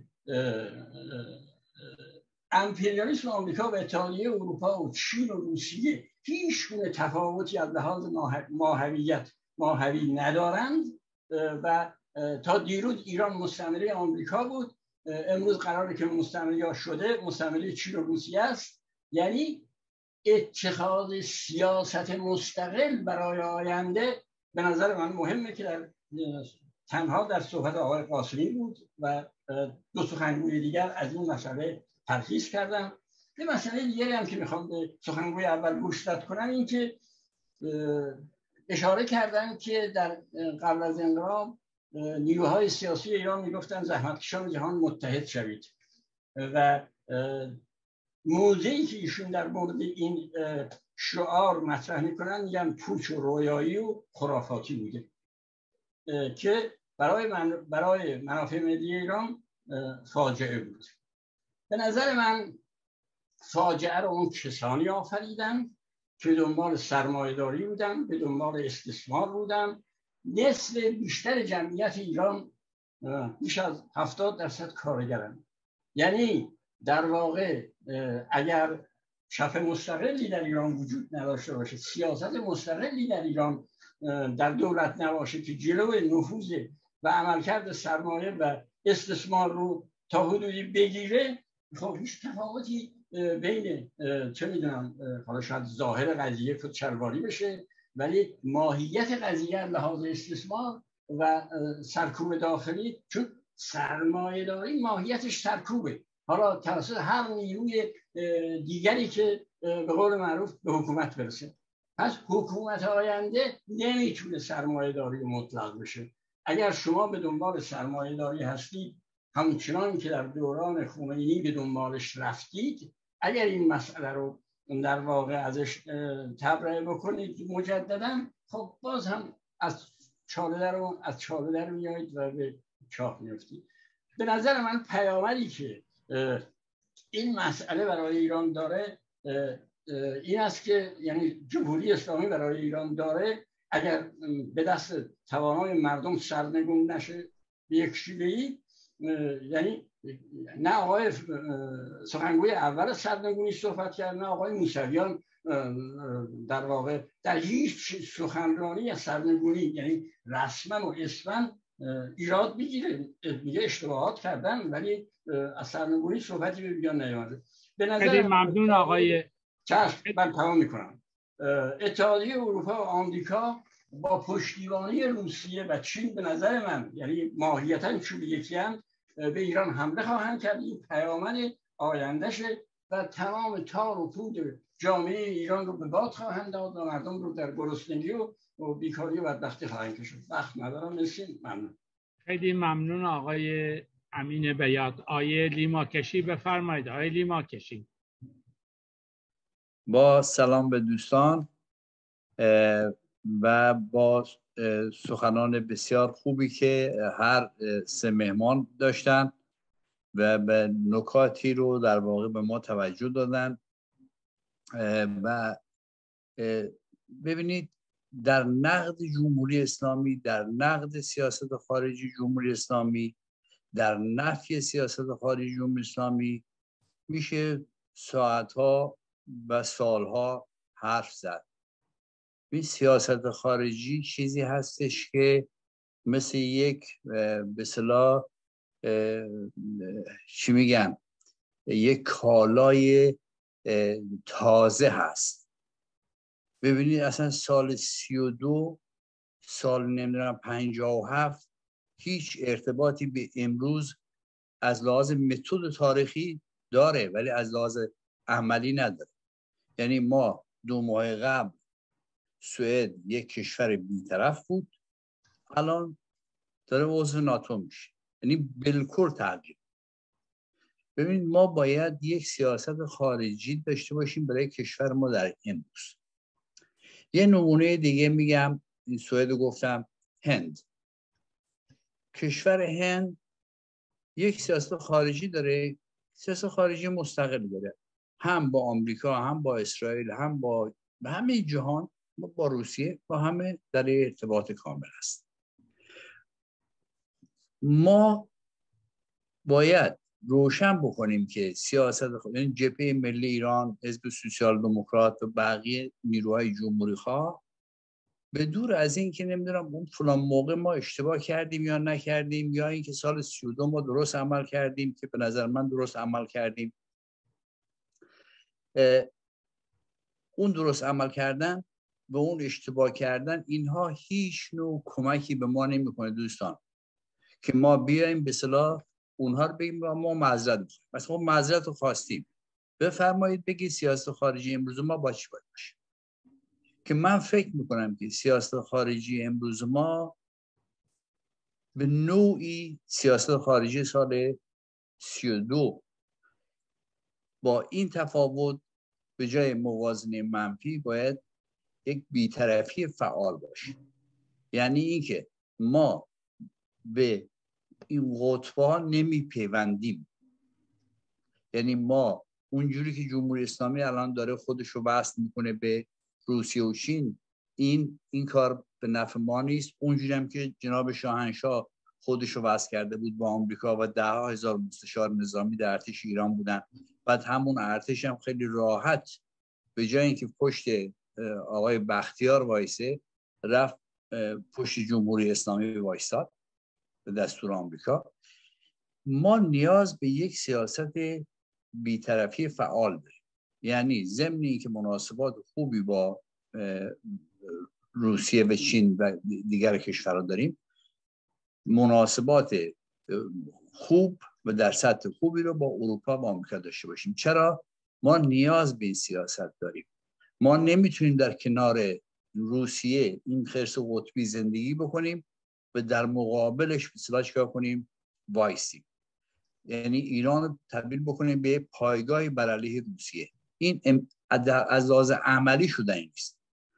از لحاظ خواست و آرزو و چیز برای من خیلی چیز خوبی. که اگه ما بتونیم چنین کار رو بکنیم. روسیه رو سر جاش بنشونیم. مناطقی که از ایران جدا شده تمام جنوب روسیه تاجیکستان ازبکستان قرقیزستان همه اینا مناسبات خود ما تبدیل بشیم به قدرت بزرگ. اینا تمایلات. ولی واقعیت این نیست. واقعیت اینه که ما اگر وارد چنین برنامه بشیم به ما ضربه می‌زنه. در مورد سیاست خارجی جمهوری اسلامی دخالت در کشورهای خاور میانه شما به من بگید کدوم کشوری که در خاور میانه دخالت نمی این سیاست خارجی غلطه. ولی شما اگر یک کشوری من نشود دادید که در خاور شاه خودش در لبنان نقش داشت. در مثلا سوریه هم دست داشت. اسرائیل هم به همین شکل. پس ببینید ما نمی‌تونیم فقط با نقد سیاست خارجی جمهوری برای خودمون یه سیاست خارجی درست کنیم. ما برای اینکه بتونیم در این منطقه زندگی کنیم باید مناسبات روشنی در این زد و بندهای منطقه‌ای داشته باشیم.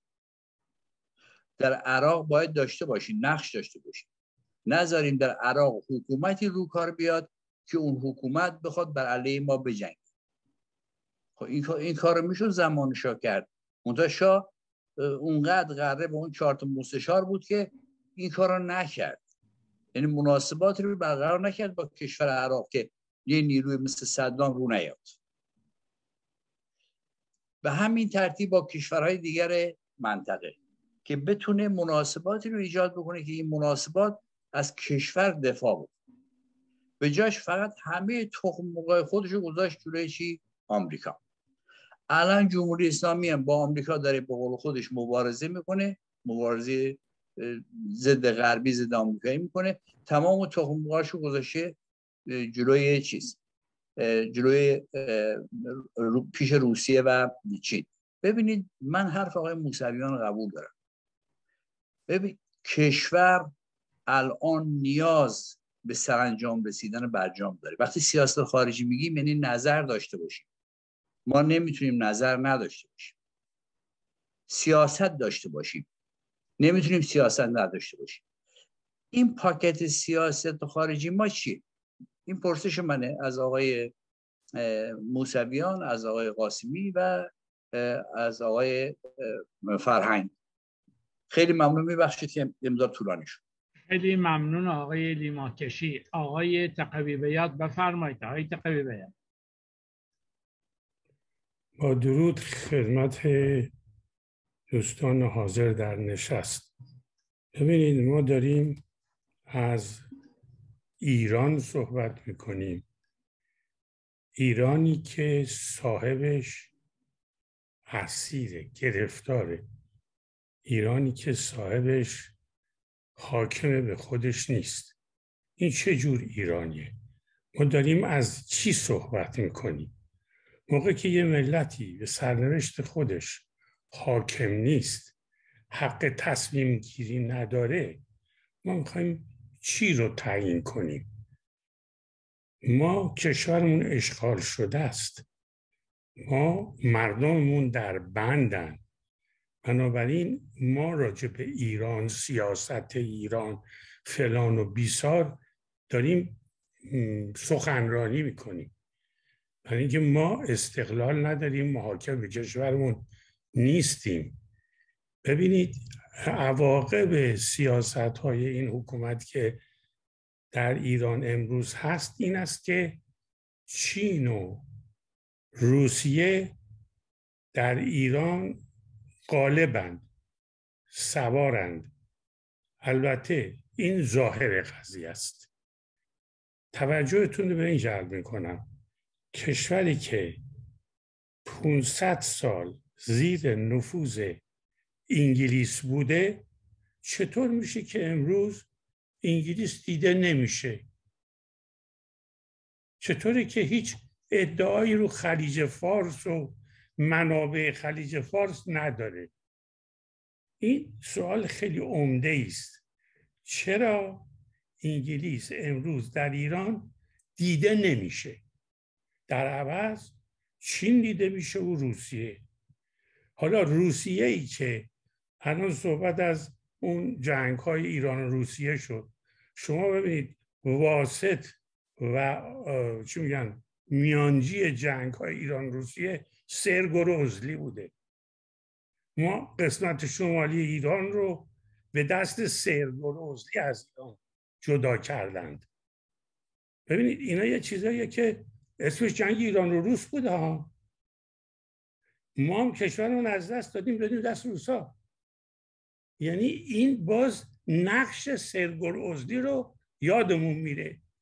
من توجهتون به این جلب می‌کنم که عواقب حکومت عواقب سیاست حکومت در منطقه این است که ما فعلا اسیر چین و روس هستیم و ارباب اصلی دیده نمیشه. اینو باید حل کنیم که چرا ارباب اصلی دیده نمیشه. من عرض دیگه ندارم. خیلی ممنون آقای تقوی بیات. آقای کرمی بفرمایید. آقای کرمی. درود میفرستم به شما و همه دوستان. خدمت ارز کنم منم چند نکته خواستم اضافه کنم به آنچه که در این پنل و گفتگو شنیدم.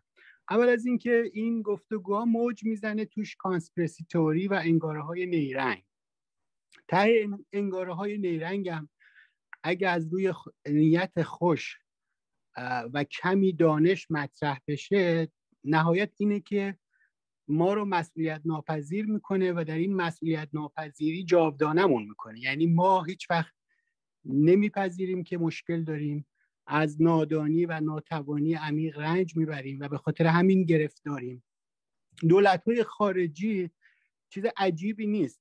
در همه جای دنیا هم برنامه دارن هم منافع دارن هم نفوذ دارن و هم تلاش می‌کنن که این منافع رو لحاظ بکنن و رعایتش بکنن به چنگ بیارنش. این یک پارامتر خیلی بدیهی و بدوی سیاست خارجیه.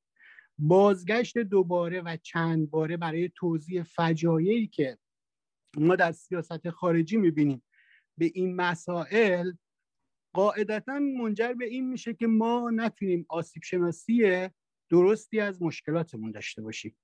من این انگاره های نیرنگ رو تو صحبت های جناب آقای موسویان خیلی به شدت دیدم. در صحبت های آقای فرهنگ هم همچنین. ببخشید فرهنگ قاسمی نه منصور فرهنگ. خدمتتون عرض بکنم مثلا فرض بگیریم به عنوان یه نمونه همه شکایت می‌کنن که اسلام و جمهوری اسلامی و صدور انقلاب و این حرف ها فاجعه آفرین بوده. این یه نوع پریدارشناسیه مثل مثلا کسی که میاد میگه که من دلم درد می‌کنه. خب این ساده است ولی مسئله اینه که چرا این دلت به وجود اومده؟ ریشه های این اسلامگرایی کجاست؟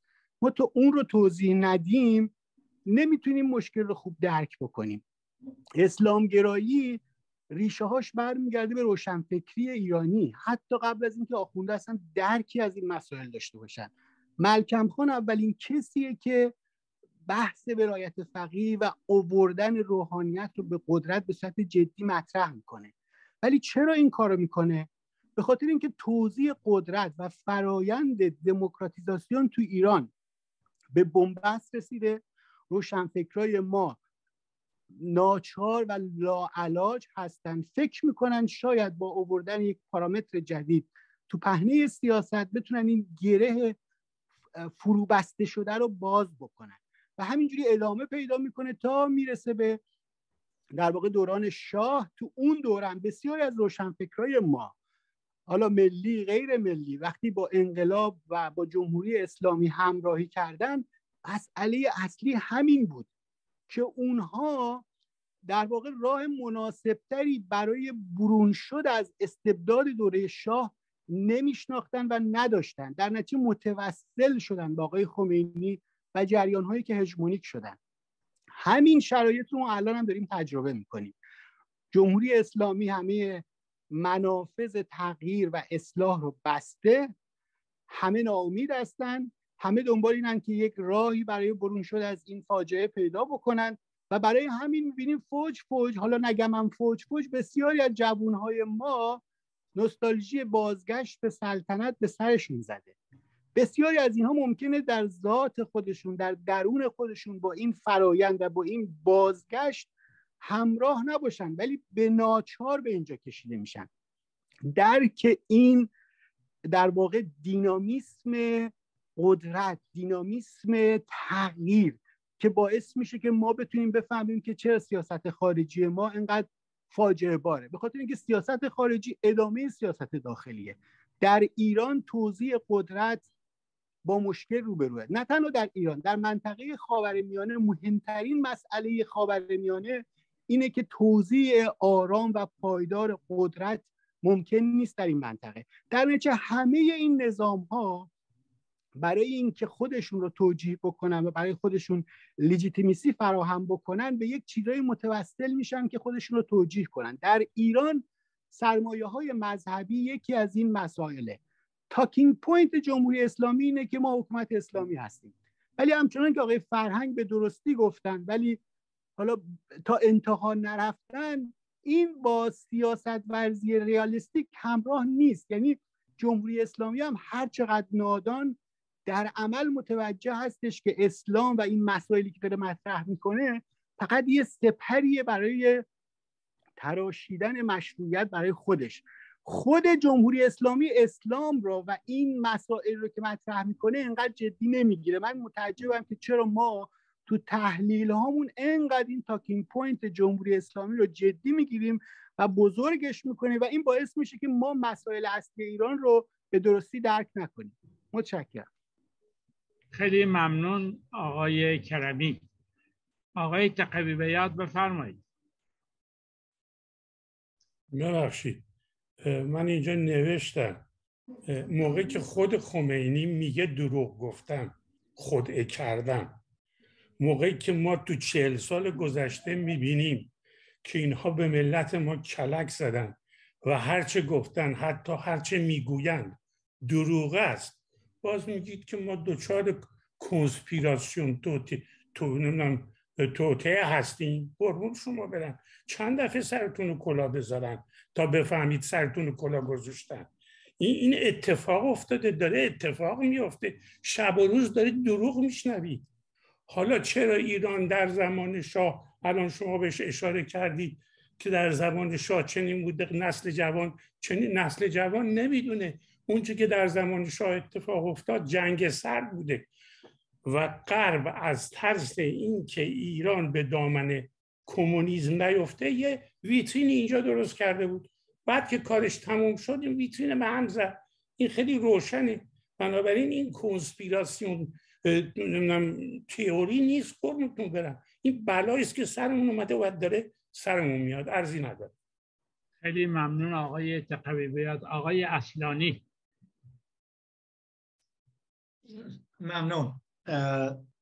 من تشکر می‌کنم از همه صحبت ها شاید بخوام بگم سوالی که من دارم و حالا جوری که من بهش نگاه می‌کنم یه خورده دیگه است فرق می‌کنه با دوستان دیگر.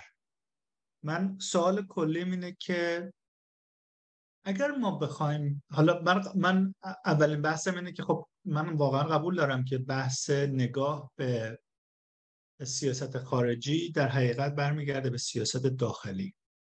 ولی اگه بخوایم یه خورده اینو در حالت بزرگترش ببینیم این من سوالم از دوستان سخنگو اینه که نقش ملت ایران رو اگر بخوایم از زمان مشروطیت تا به انقلاب 57 یا حتی الان نگاه بکنیم از اینکه خب ملت ایران از لحاظ سواد یعنی اگر بخوایم حساب اینو بکنیم که اگر ما می‌خوایم صحبت که آقای لیما کشی کردن یا آقای کرمی کردن در مورد این که اصلا سیاست خارجی چیه قبل از اینکه ما برسیم که اینو چگونه باید نگاه بکنیم حتی جمهوری اسلامی رو هم بذاریم کنار آیا نباید ما به این ملت به یک جوری نگاه بکنیم که خب بیان ببینیم که خب بدیهیات ملت ایران از زمان مشروطیت تا به حال چگونه بوده؟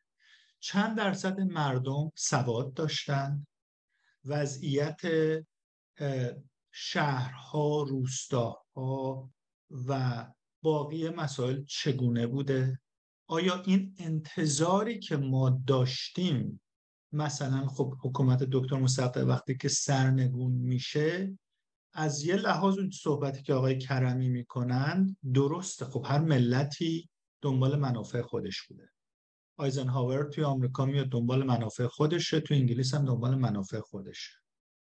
ولی به حال ما داریم راجع به ایرانی صحبت می‌کنیم که خب سواد نداشته فقیر بوده بسیار هم فقیر بوده سر دوزار به قول معروف صبح جاوید شاه مرده جاوید شاه یا مرده شاه عوض میشه. یعنی یک جامعه رو داریم صحبت می‌کنیم که به راحتی قابل من فارسیشو نمی‌دونم. منیپولیت شدن یعنی این جامعه رو می‌تونی تو تغییر بدی. آیا سوالی که من فکر می‌کنم ما اون سوالی رو که من فکر می‌کنم ما به عنوان یک نیروی سیاسی بخوایم بهتر بهش جواب بدیم سوالی که در حقیقت فکر کنم فرنگ قاسمی تو آخر صحبتاش کرد. که اگه ما می‌خوایم با آینده نگاه بکنیم چه کار باید بکنیم؟ من گذشته خب خیلی میشه صحبت کرد راجبش رو حرف زد. من اینو حالا هر کسی از هر زاویه خودش نگاه می‌کنه. ولی مگر فکر کنم نیرومون رو سر آینده بگذاریم که این آینده بر اساس مقیاس هایی که می‌تونیم داشته باشیم بحث سواد بحث این که حقوق شهروندی رو در ایران می‌خوایم تعریف بکنیم و توسعه بدیم و اینکه چگونه ما می‌خوایم به عنوان به حال یک ملت چگونه می‌خوایم بیایم با مسائلی که خب در آینده برای ما وجود داره صحبت بکنیم. من فکر می‌کنم اگر ما یک مقدار این دیدگاه هایی که نسبت به خوندن گذشته رو داریم و بذاریم کنار و با نگاه مثبتتر به آینده نگاه بکنیم ما فکر می‌کنم به جای بهتری برسیم. در حقیقت سوالی که من می‌خوام بکنم اینه که همه دوستان خب سوال پرسیدن که گذشته چطور بوده. ولی گذشته رو به نظر من یک باید در این نگاه کرد که ملت ایران از زمان مشروطه بحثایی که حالا از لحاظ سازمان ملل هم صحبت می‌کنه. بحث سواد عمومی جامعه ایران چقدر سواد داشته؟ جامعه ایران از لحاظ اقتصادی کجا قرار داشته؟ مردم چگونه می‌تونستن به طور مستقل فکر بکنن به طور مستقل تصمیم بگیرن به طور مستقل رأی بدن. چیزهایی که خب در زمان پهلوی اتفاق نیفتاده چیزهایی که همین الانش اتفاق نیفتاده. خب اینها رو مسائل خیلی عمده ایه وقتی شما نمی‌تونی ملتی رو داشته باشی که بدون که دستکاری بشن راحت بتونن فکر بکنن نظر بدن خب این به نظر من حالا هر جوری اتفاق افتاده دیگه. سوال اینه که خب آینده رو کارش بکنیم؟ چگونه بریم جلو و چگونه یک ایران بهتری بسازیم؟ ممنون. خیلی ممنون آقای اصلانی. دوستان اگه اجازه بدید وقت بدیم به سخنرانان آقای منصور فرهنگ آقای موسویان و آقای فرهنگ قاسمی. برای بگم جواب یا در جستجوی سوالات آقای منصور فرهنگ بفرمایید.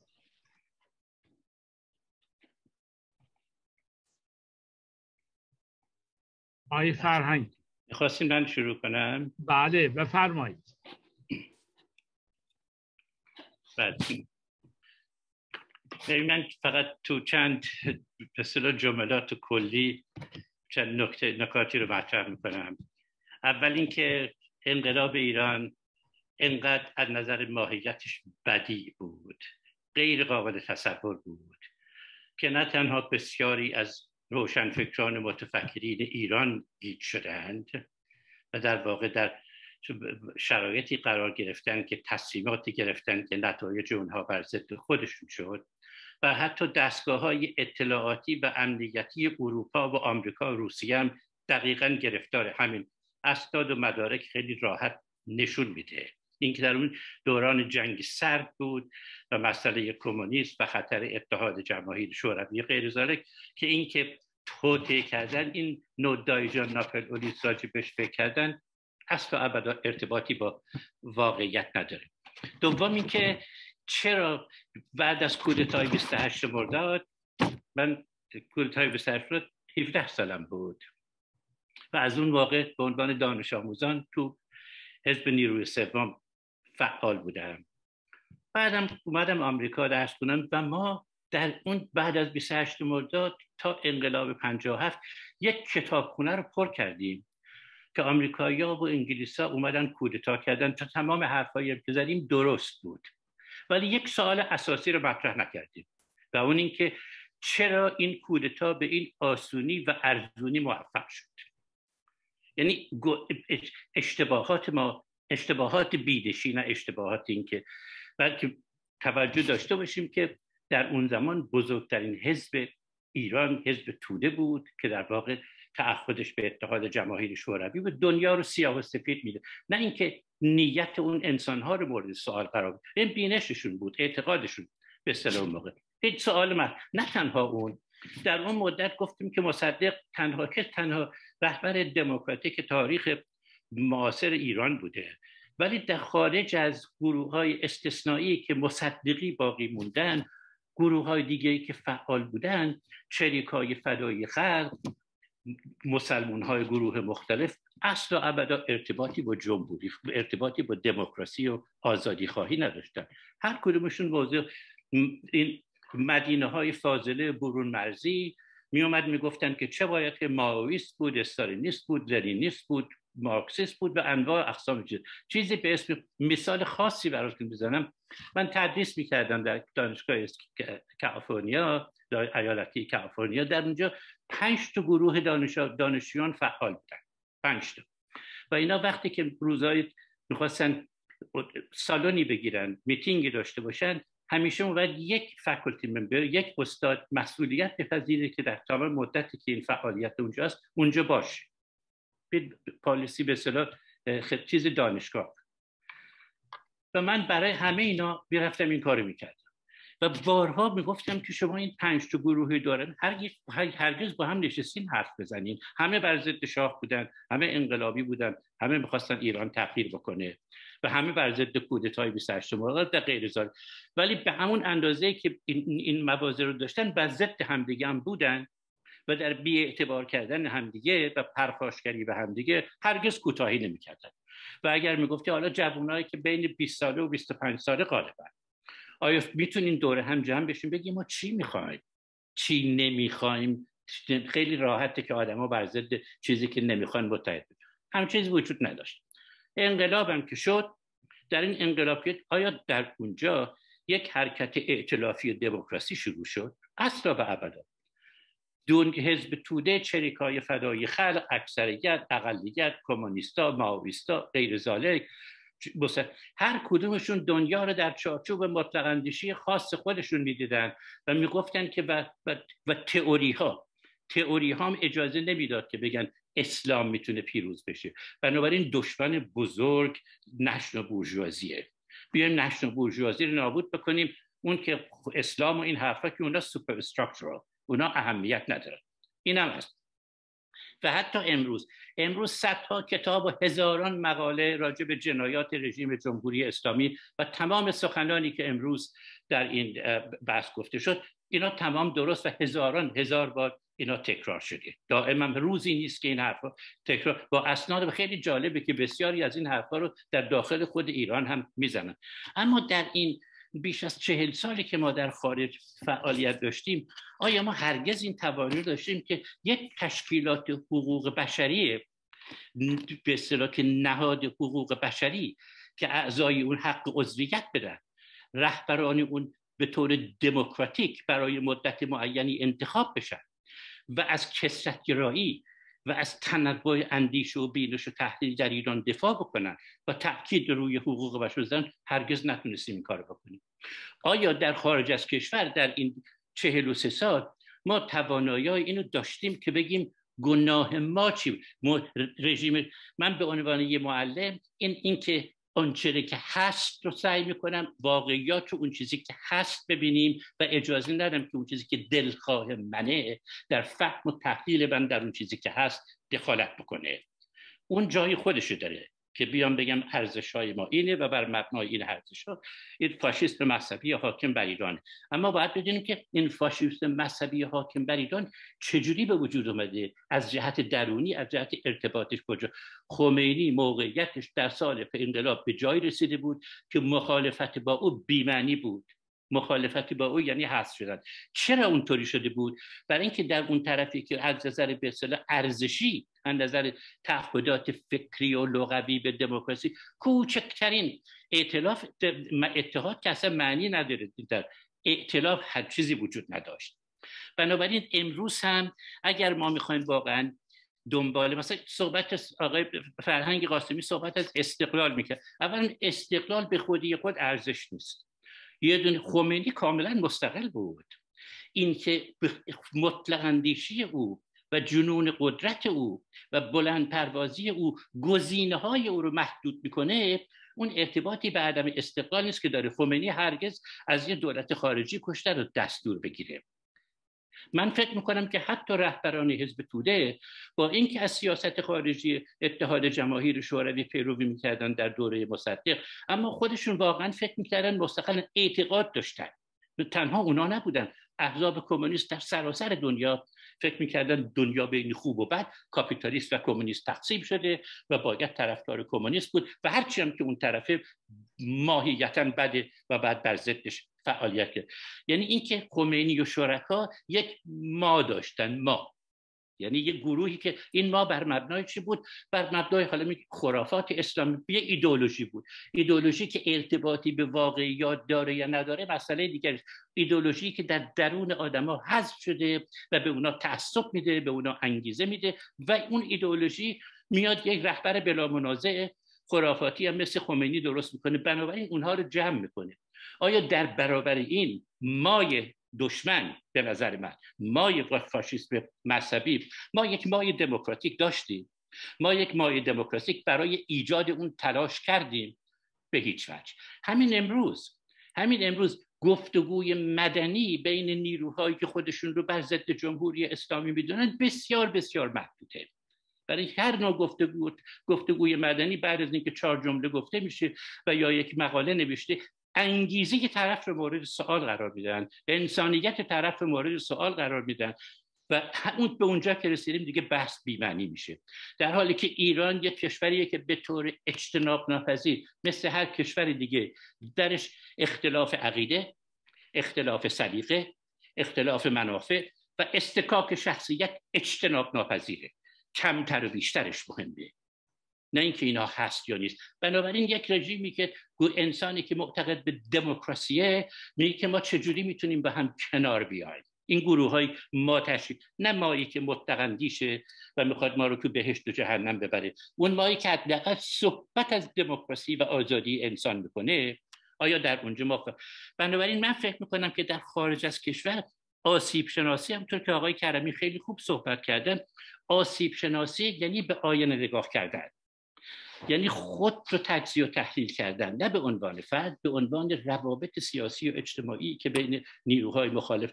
بعد از 28 مرداد وضع ما واقعا وحشتناک بود. از این جهت که گروه هایی که درست شده بودن که گروه هایی بودن که ارتباطی با دموکراسی نداره شخصیت های خاصی بودن. ولی سنا که جوان مثلا تو دانشگاه که می‌رفتید در خارج یا در داخل 20 ساله ها و 30 ساله ها که فعال بودن اینا همه تحت تاثیر یا نیروهای چپ یا نیروهای اسلامی بودن. نیروهای لیبرال دموکرات سازندگی با همدیگه مصدقی آدمای به اصطلاح مسنتر توشون بودن که فعالیت اونها معمولا کمتر بود. بنابراین نقطه ای که بخوام بگم اینه که به جای اینکه دایجان ناپلئونیسم رو بیاریم تو کار بیایم به خودمون برسیم. تو آینه نگاه بکنیم.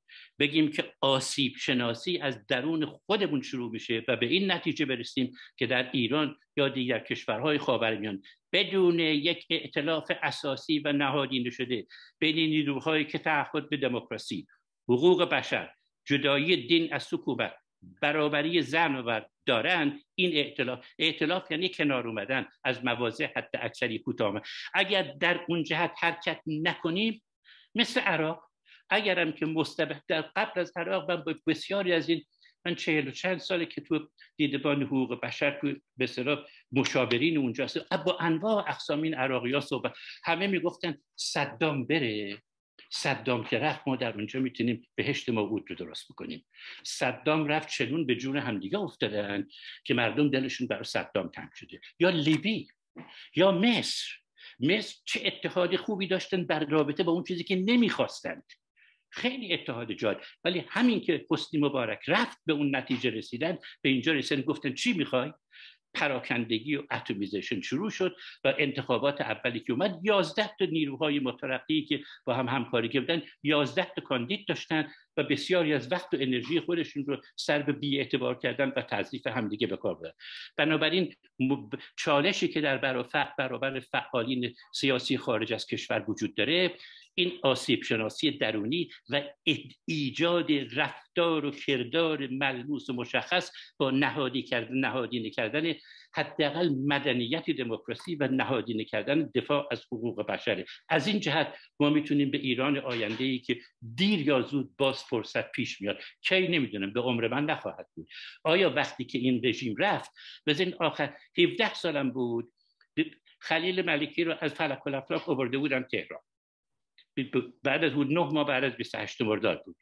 با دو سه نفر دیگه از دوستان دبیرستان ما رفتیم به دیدن ملکی من فعال بود.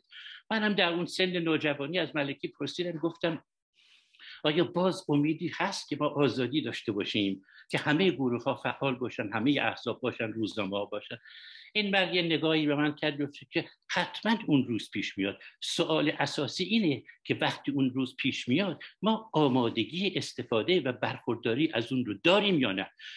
20 سال طول کشید تا من بیام آمریکا و برم political science بخونم تا بفهمم ملکی چی گفت.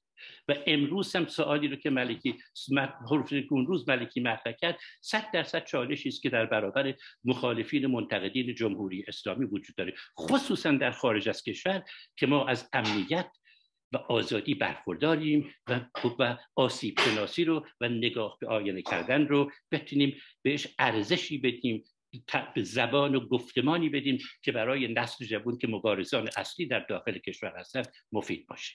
مرسی. خیلی ممنون آقای منصور فرهنگ. آقای موسویان بفرمایید آقای موسوی من سوالی که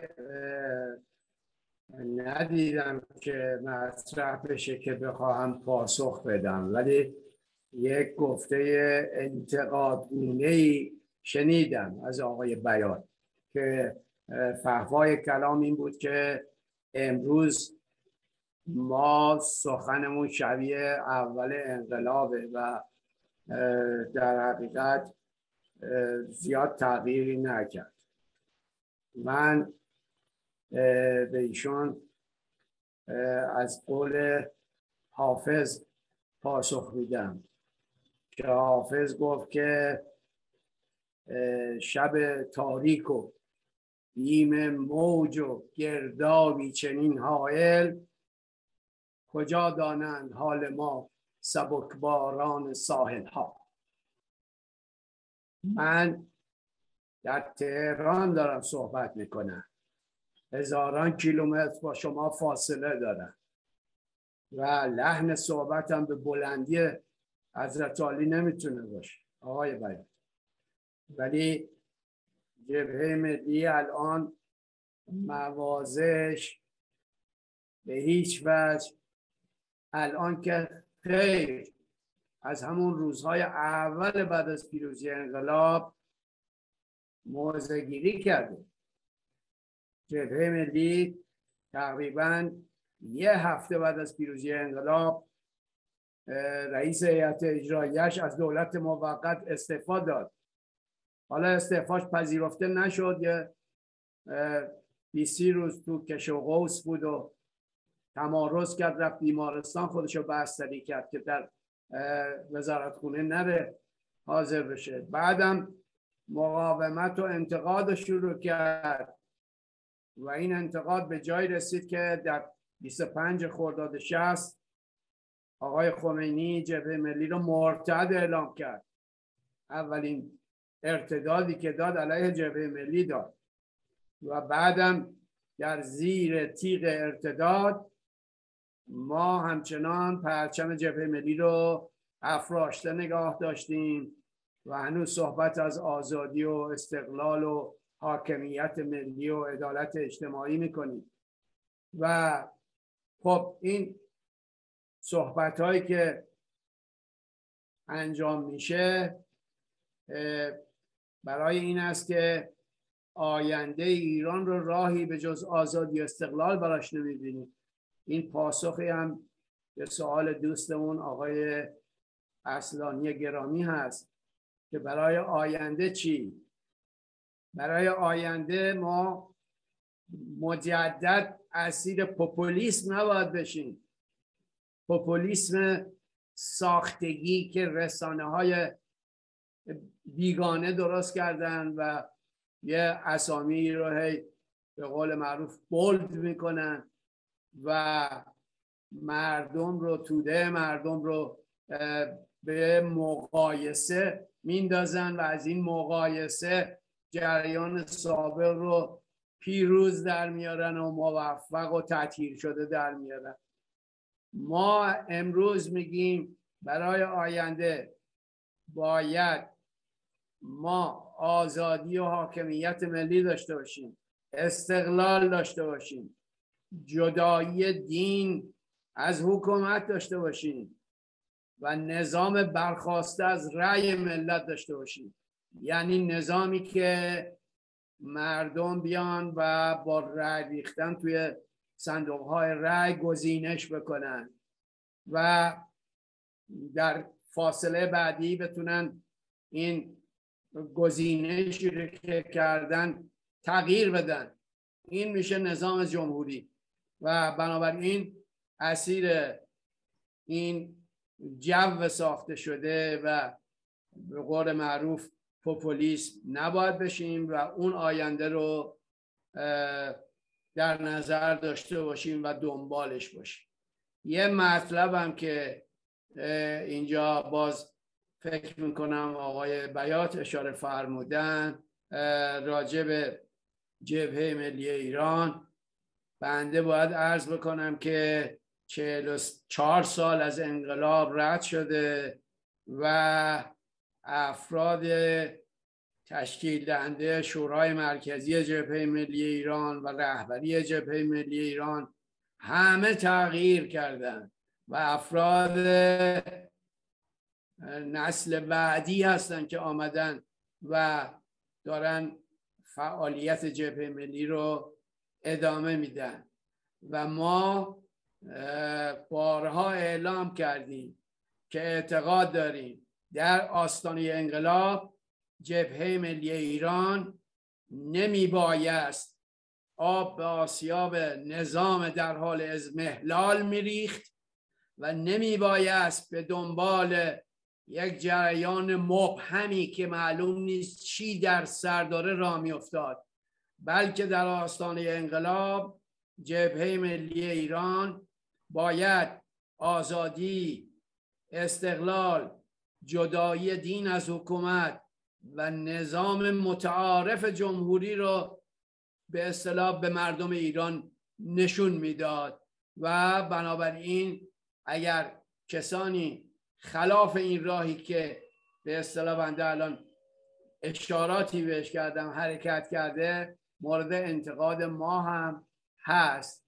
ولی به هر حال قبول بفرمایید که ما داریم کار سیاست انجام میدیم کار سیاسی انجام میدیم و باید مطابق شرایط و اون چه که می‌تونه مؤثر واقع بشه و ما را به هدف برسونه حرف بزنیم و حرکت کنیم. حرف زدن زمخت و درشت و با صدای بلند و اینا ما رو به جایی نمیرسونه که انتظار دارن که مثلا ما به جایی که بگیم خطا کرد و اشتباه رفت و این گرفتاری ها ایجاد کرد حالا چهار تا فوش بهش اضافه بکنیم تا صحبتمون خیلی موثر باشه. خب ما این کار نمی کنیم ما نه خشونت در مبارزه رو میپسندیم نه در خشونت در کلام رو. کلام هم باید متین و موقر و در شعن نیروهای مصدقی و کسانی که اخلاق و خوی مصدق رو دارن در شعن همون بزرگمرد به اصطلاح حرکت بکنن و عمل بکنن. خیلی متشکرم. خیلی ممنون آقای موسویان آقای قاسمی بفرمایید. آقای قاسمی. بله خیلی متشکرم. من خیلی استفاده کردم از سخنان دوستان چه کسانی که سخنران اصلی بودند و چه دوستانی که دخالت کردند صحبت کردند و به حال نکاتی رو تذکر دادند اصلاح کرد من سعی می‌کنم که به سوالات پاسخ بدم. آقای لیماکشی سوال کردن در مورد مسئله برجام چه باید کرد؟ از هر سه ما سوال کرد. و فکر می‌کنم دوستان دیگر فراموش کردم ولی من پاسخم به این قضیه اینه که ما نیاز به تسلیحات اتمی نداریم. این قضیه چنان پیچیده شده که همه طرفین مذاکره اصلا توش گیر کردن. یعنی واقعا پاسخ دادن به این به دقت به این پرونده کار راحتی نیست. البته اینو کسی میگه که در مذاکرات بین المللی همچین بیخبرم نیست. یعنی قضیه خیلی خیلی پیچیده است. از من یادم میاد وقتی اولین دوره مذاکرات در هزار و, هزار و در 2015 در سوئیس انجام شد. داشت مذاکرات خوب پیش می‌رفت. ایران یه دفعه جمهوری اسلامی یه دفعه یه سری بندهایی رو برد بیرون. که توی اون بندها لوران فابیوس که اون موقع معمور این مذاکرات از طرف دولت فرانسه در اونجا بود وزیر امور خارجه فرانسه هم بود از جلسه اومد بیرون. اومد بیرون برگشت یه هفته نرفت. اونجا من به دوستانی که نزدیکم بودن گفتم ببینید این قضیه فابیوس وقتی برگرده با یک سری پیشنهاداتی خواهد رفت که کلا به زیان جمهوری اسلامی خواهد. چون در این مذاکرات با این اروپایی ها اینطوریه که شما در اون ابتدا اگر رسیدید به یک توافقی باید زود قضیه رو کارش تموم بکنید بیایی عقب بندازید. تو مرحله به مرحله که شما عقب میندازید اونها زمین رو می‌گیرن. اونها جلوتر میان. الان هم ببینید که هی عقب افتاده به کجا رسیده. به نظر من ما نیاز به تسلیحات نظامی نداریم. باید قطع بشه و بر اساس قوانین بین المللی و بر اساس حقوق بین المللی حقوقی که ملت ایران داره به یک توافقی رسیده بشه به راحتی انقدر وارد مشکلات و چیزها نشیم. به نظر من این تئوریک از نظر تئوریک درسته. در عمل شدنی نیست. ولی نظر من خواستی درس کرد. اما با آقای کرمی دوست گرامی خب در مورد سیاست خارجی که هر کشور از منافع خودش دفاع می‌کنه کاملا درسته. از منافع خودش دفاع می‌کنه ولی یه چیزم باید پشت سرش گفت. باید حقوق بین المللی هم رعایت بکنه. و نه قرار باشه هر کسی از منافع خودش دفاع بکنه میشه بلبشو میشه اینی که هست. بغل منافع ملی حقوق بین المللی هم هست.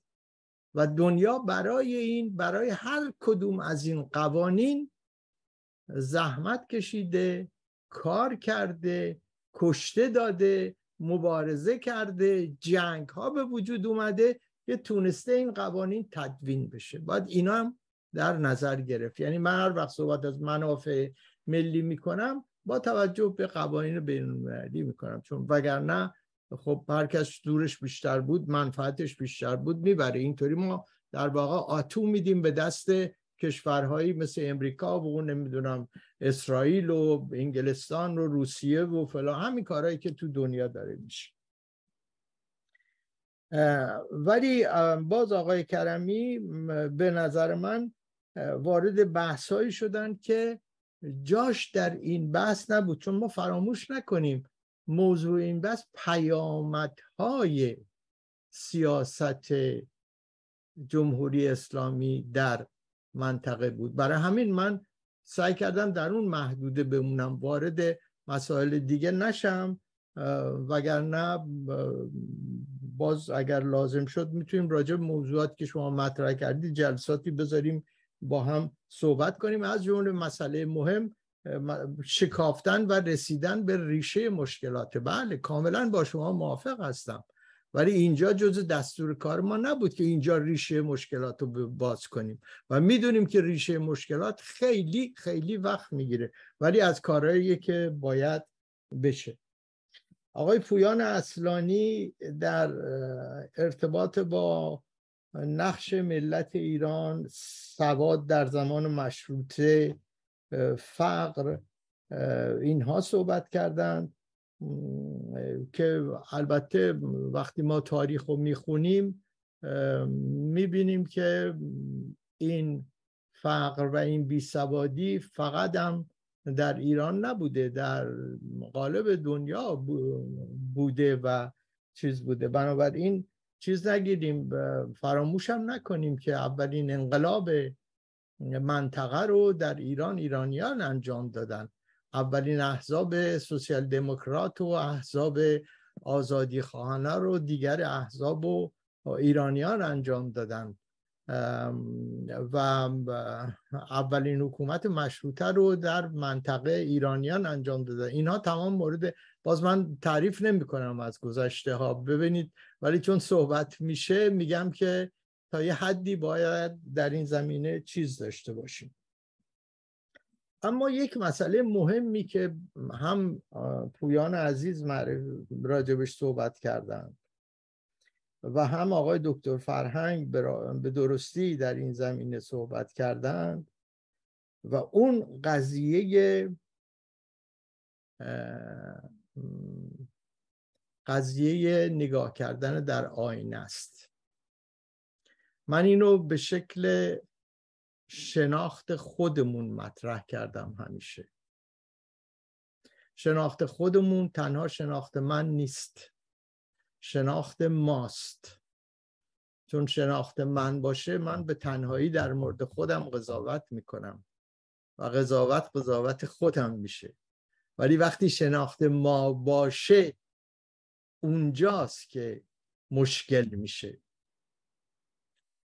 ما اولین کاری که اگر بتونیم بکنیم اینکه خودمون رو به عنوان ما بشناسیم. نقاط ضعف نقاط قدرت کارهایی که بلدیم ابزاری که می‌تونیم ازش استفاده بکنیم و بشناسیم. و این به تنهایی کافی نیست. باید جبهه مقابل هم بشناسیم. اینو من بارها گفتم. ما الان شناختی از خودمون که درست حسابی به عنوان ما نداریم. شناخت دقیقی هم از جبهه مقابل یا جبهه های مقابل نداریم. چون فقط جمهوری اسلامی نیست که به نظر من ما باش جنگ داریم.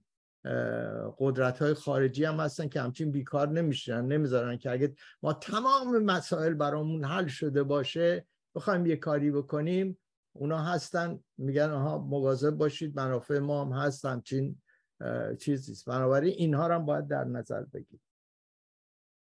بنابراین نگاه کردن با آینه اینا خوبه. ولی یک چیز خصوصی براتون بگم که من هم در شناخت خودمون و همکاری های خودمون کاری که اپوزیسیون می‌کنه با توجه به شناختی که سعی کردم پیدا بکنم همچینم خوشبین نیستم. سر خودمون کلان نذاریم. خودخواهی بین ماها زیاد. و خیلی مسائل و مشکلاتی هست که درمون هست و باعث میشه که ما پیشرفت نکنیم. و این من در اینجا اجازه می‌خوام که از خانوم الهه امانی یاد بکنم که اینجا هستند. یک سری مسائلی که همین هفته های گذشته پیش اومده ما با هم صحبت کردیم سر یک سری کارهایی که باید در اروپا و در اروپا بیشتر انجام بشه. موزلاتی رو در مقابلش هستیم که مجبور به یه سری نارضایتی ها شده. ولی می‌خوام بگم که یکم یکم از خودخواهیامون بیایم پایین. یکم بیشتر پامونو بذاریم روی زمین و با واقعیت ها مسائل رو ببینیم. اما اینکه چند دقیقه که مونده خب آینده رو اگر این کار کردیم آینده رو چجوری ببینیم؟ فکر می‌کنم دوستان هر کدوم صحبت کردن در این زمینه. آقای دکتر موسویان آقای دکتر فرهنگ در این زمینه صحبت کردن. من چیزهایی که باید اگه بتونم اضافه بکنم اینه که چه سیاستی داشته باشیم. اون که مسلمه ما نباید یک حاکمیت به دنبال یک حاکمیت ایدولوژیک باشیم یا به دنبال یک حاکمیت فردی باشیم در ایران.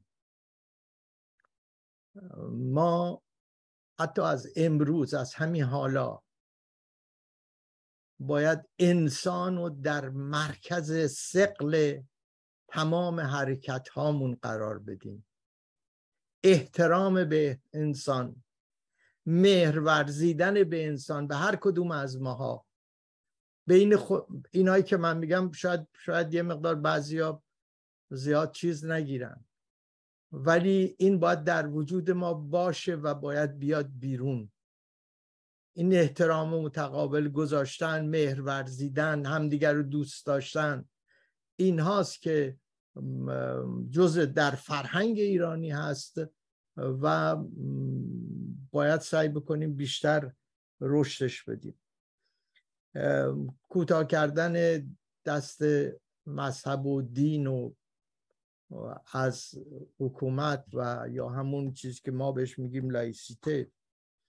مسئله داشتن سیاست مسالمت آمیز در مقابل در جهان در منطقه احترام به حقوق بشر که دوستان گفتن مشارکت در همکاری های منطقه‌ای و مسائل دیگه مثل عدم تمرکز و فلان و, و به خصوص گسترش نهادهای شهروندی که چیزهایی که مثلا اگر برای آینده بخوایم نگاه بکنیم اینطوری می‌تونیم نگاه بکنیم. اما قبل از همه اینها خودمونی ما. و بعد جبهه مقابل اینا رو اگر درست بشناسیم هر کدوم از این گام ها رو می‌تونیم درست برداریم. خیلی متشکرم و درست مثل این که دو دقیقه مونده به آخر جلسه و منم اینجا قطع می‌کنم که اگر کسی چیز دیگری می‌خواد بگه بگه. خیلی ممنون آقای قاسمی. آقای کرمی دست بلند کردین. آقای کرمی.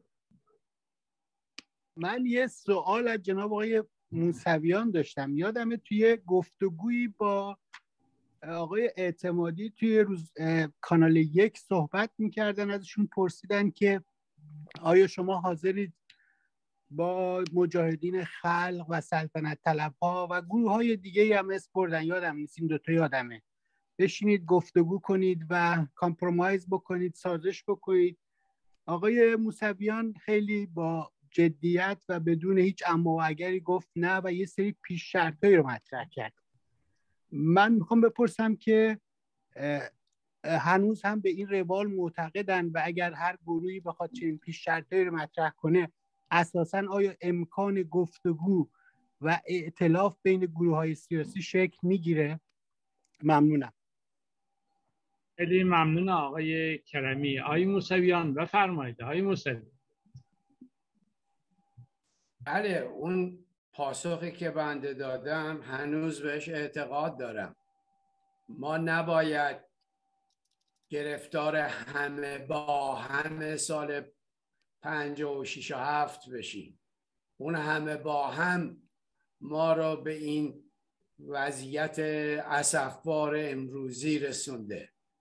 ما دست اتحاد باید به نیروهایی بدیم که هم فکر ما باشند و اهداف و آرمانهای ما رو داشته باشند ما چه شکلی می‌تونیم با کسی که اعتقاد به حکومت موروسی داره متحد بشیم و بعد با توجه به پاپولیسمی که براش ایجاد کردن آب به آسیابش برسیم و بعد ما شبیه سال هفت با تمام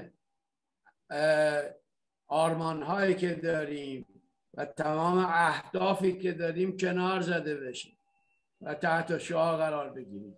ما چه شکلی می‌تونیم با کسی که با تفنگ می‌خواد دموکراسی بیاره هم پیمان بشیم؟ کسی که تفنگ دستشه برده که خودش بعدنم چه شکلی با تفنگ خودش قدرت رو در اختیار بگیره و مسلما تن به دموکراسی و حاکمیت ملی نخواهد داد. ما هدفمون حاکمیت ملی است. همون چیزی که از انقلاب مشروطیت تا حالا دنبالش بودیم و بهش دسترسی پیدا نکردیم متاسفانه. و بنابراین من معتقد به اتحاد یک پارچگی نیروهایی که هم فکر هستن به اصطلاح هستن و باز هم اتحاد همه با هم برای اینی که مثلا حالا ببینیم بعد چی میشه بعد مسائل حل می‌کنیم ندارم. این میشه تکرار سال پنجاب و هفت. خیلی متشکرم. خیلی ممنون آقای موسوی دوستان کسی وقت نگرفته. اگر سوالی پیشنهادی نیست جلسه را با پایان برسانم آیه فرهنگ آیه منصور فرهنگ آیه قاسمی نظری دارید؟ بفرمایید وگرنه جلسه به غیر از خداحافظی و سپاس فراوان از دعوت ما قبول دعوت ما دوستان سخنران و بقیه دوستان گرامی مثل اینکه خانم شهین هیدری دست بلند کردن. من دیگه قطع می‌کنم. بفرمایید خانم هیدری تقاضا می‌کنم من فقط نوشته آقای دهقان رو اینجا می‌بینم. بهش جواب داده شد. آقای دهقان آخرین نوشته ای دارن؟ بله با سپاس از آقای فرهنگ قاسمی در اشاره به کم بود من اونو دیدم. نه دیگه ایشون چیزی ننوشتن که احتیاج به پاسخ باشه پراکندگی همون و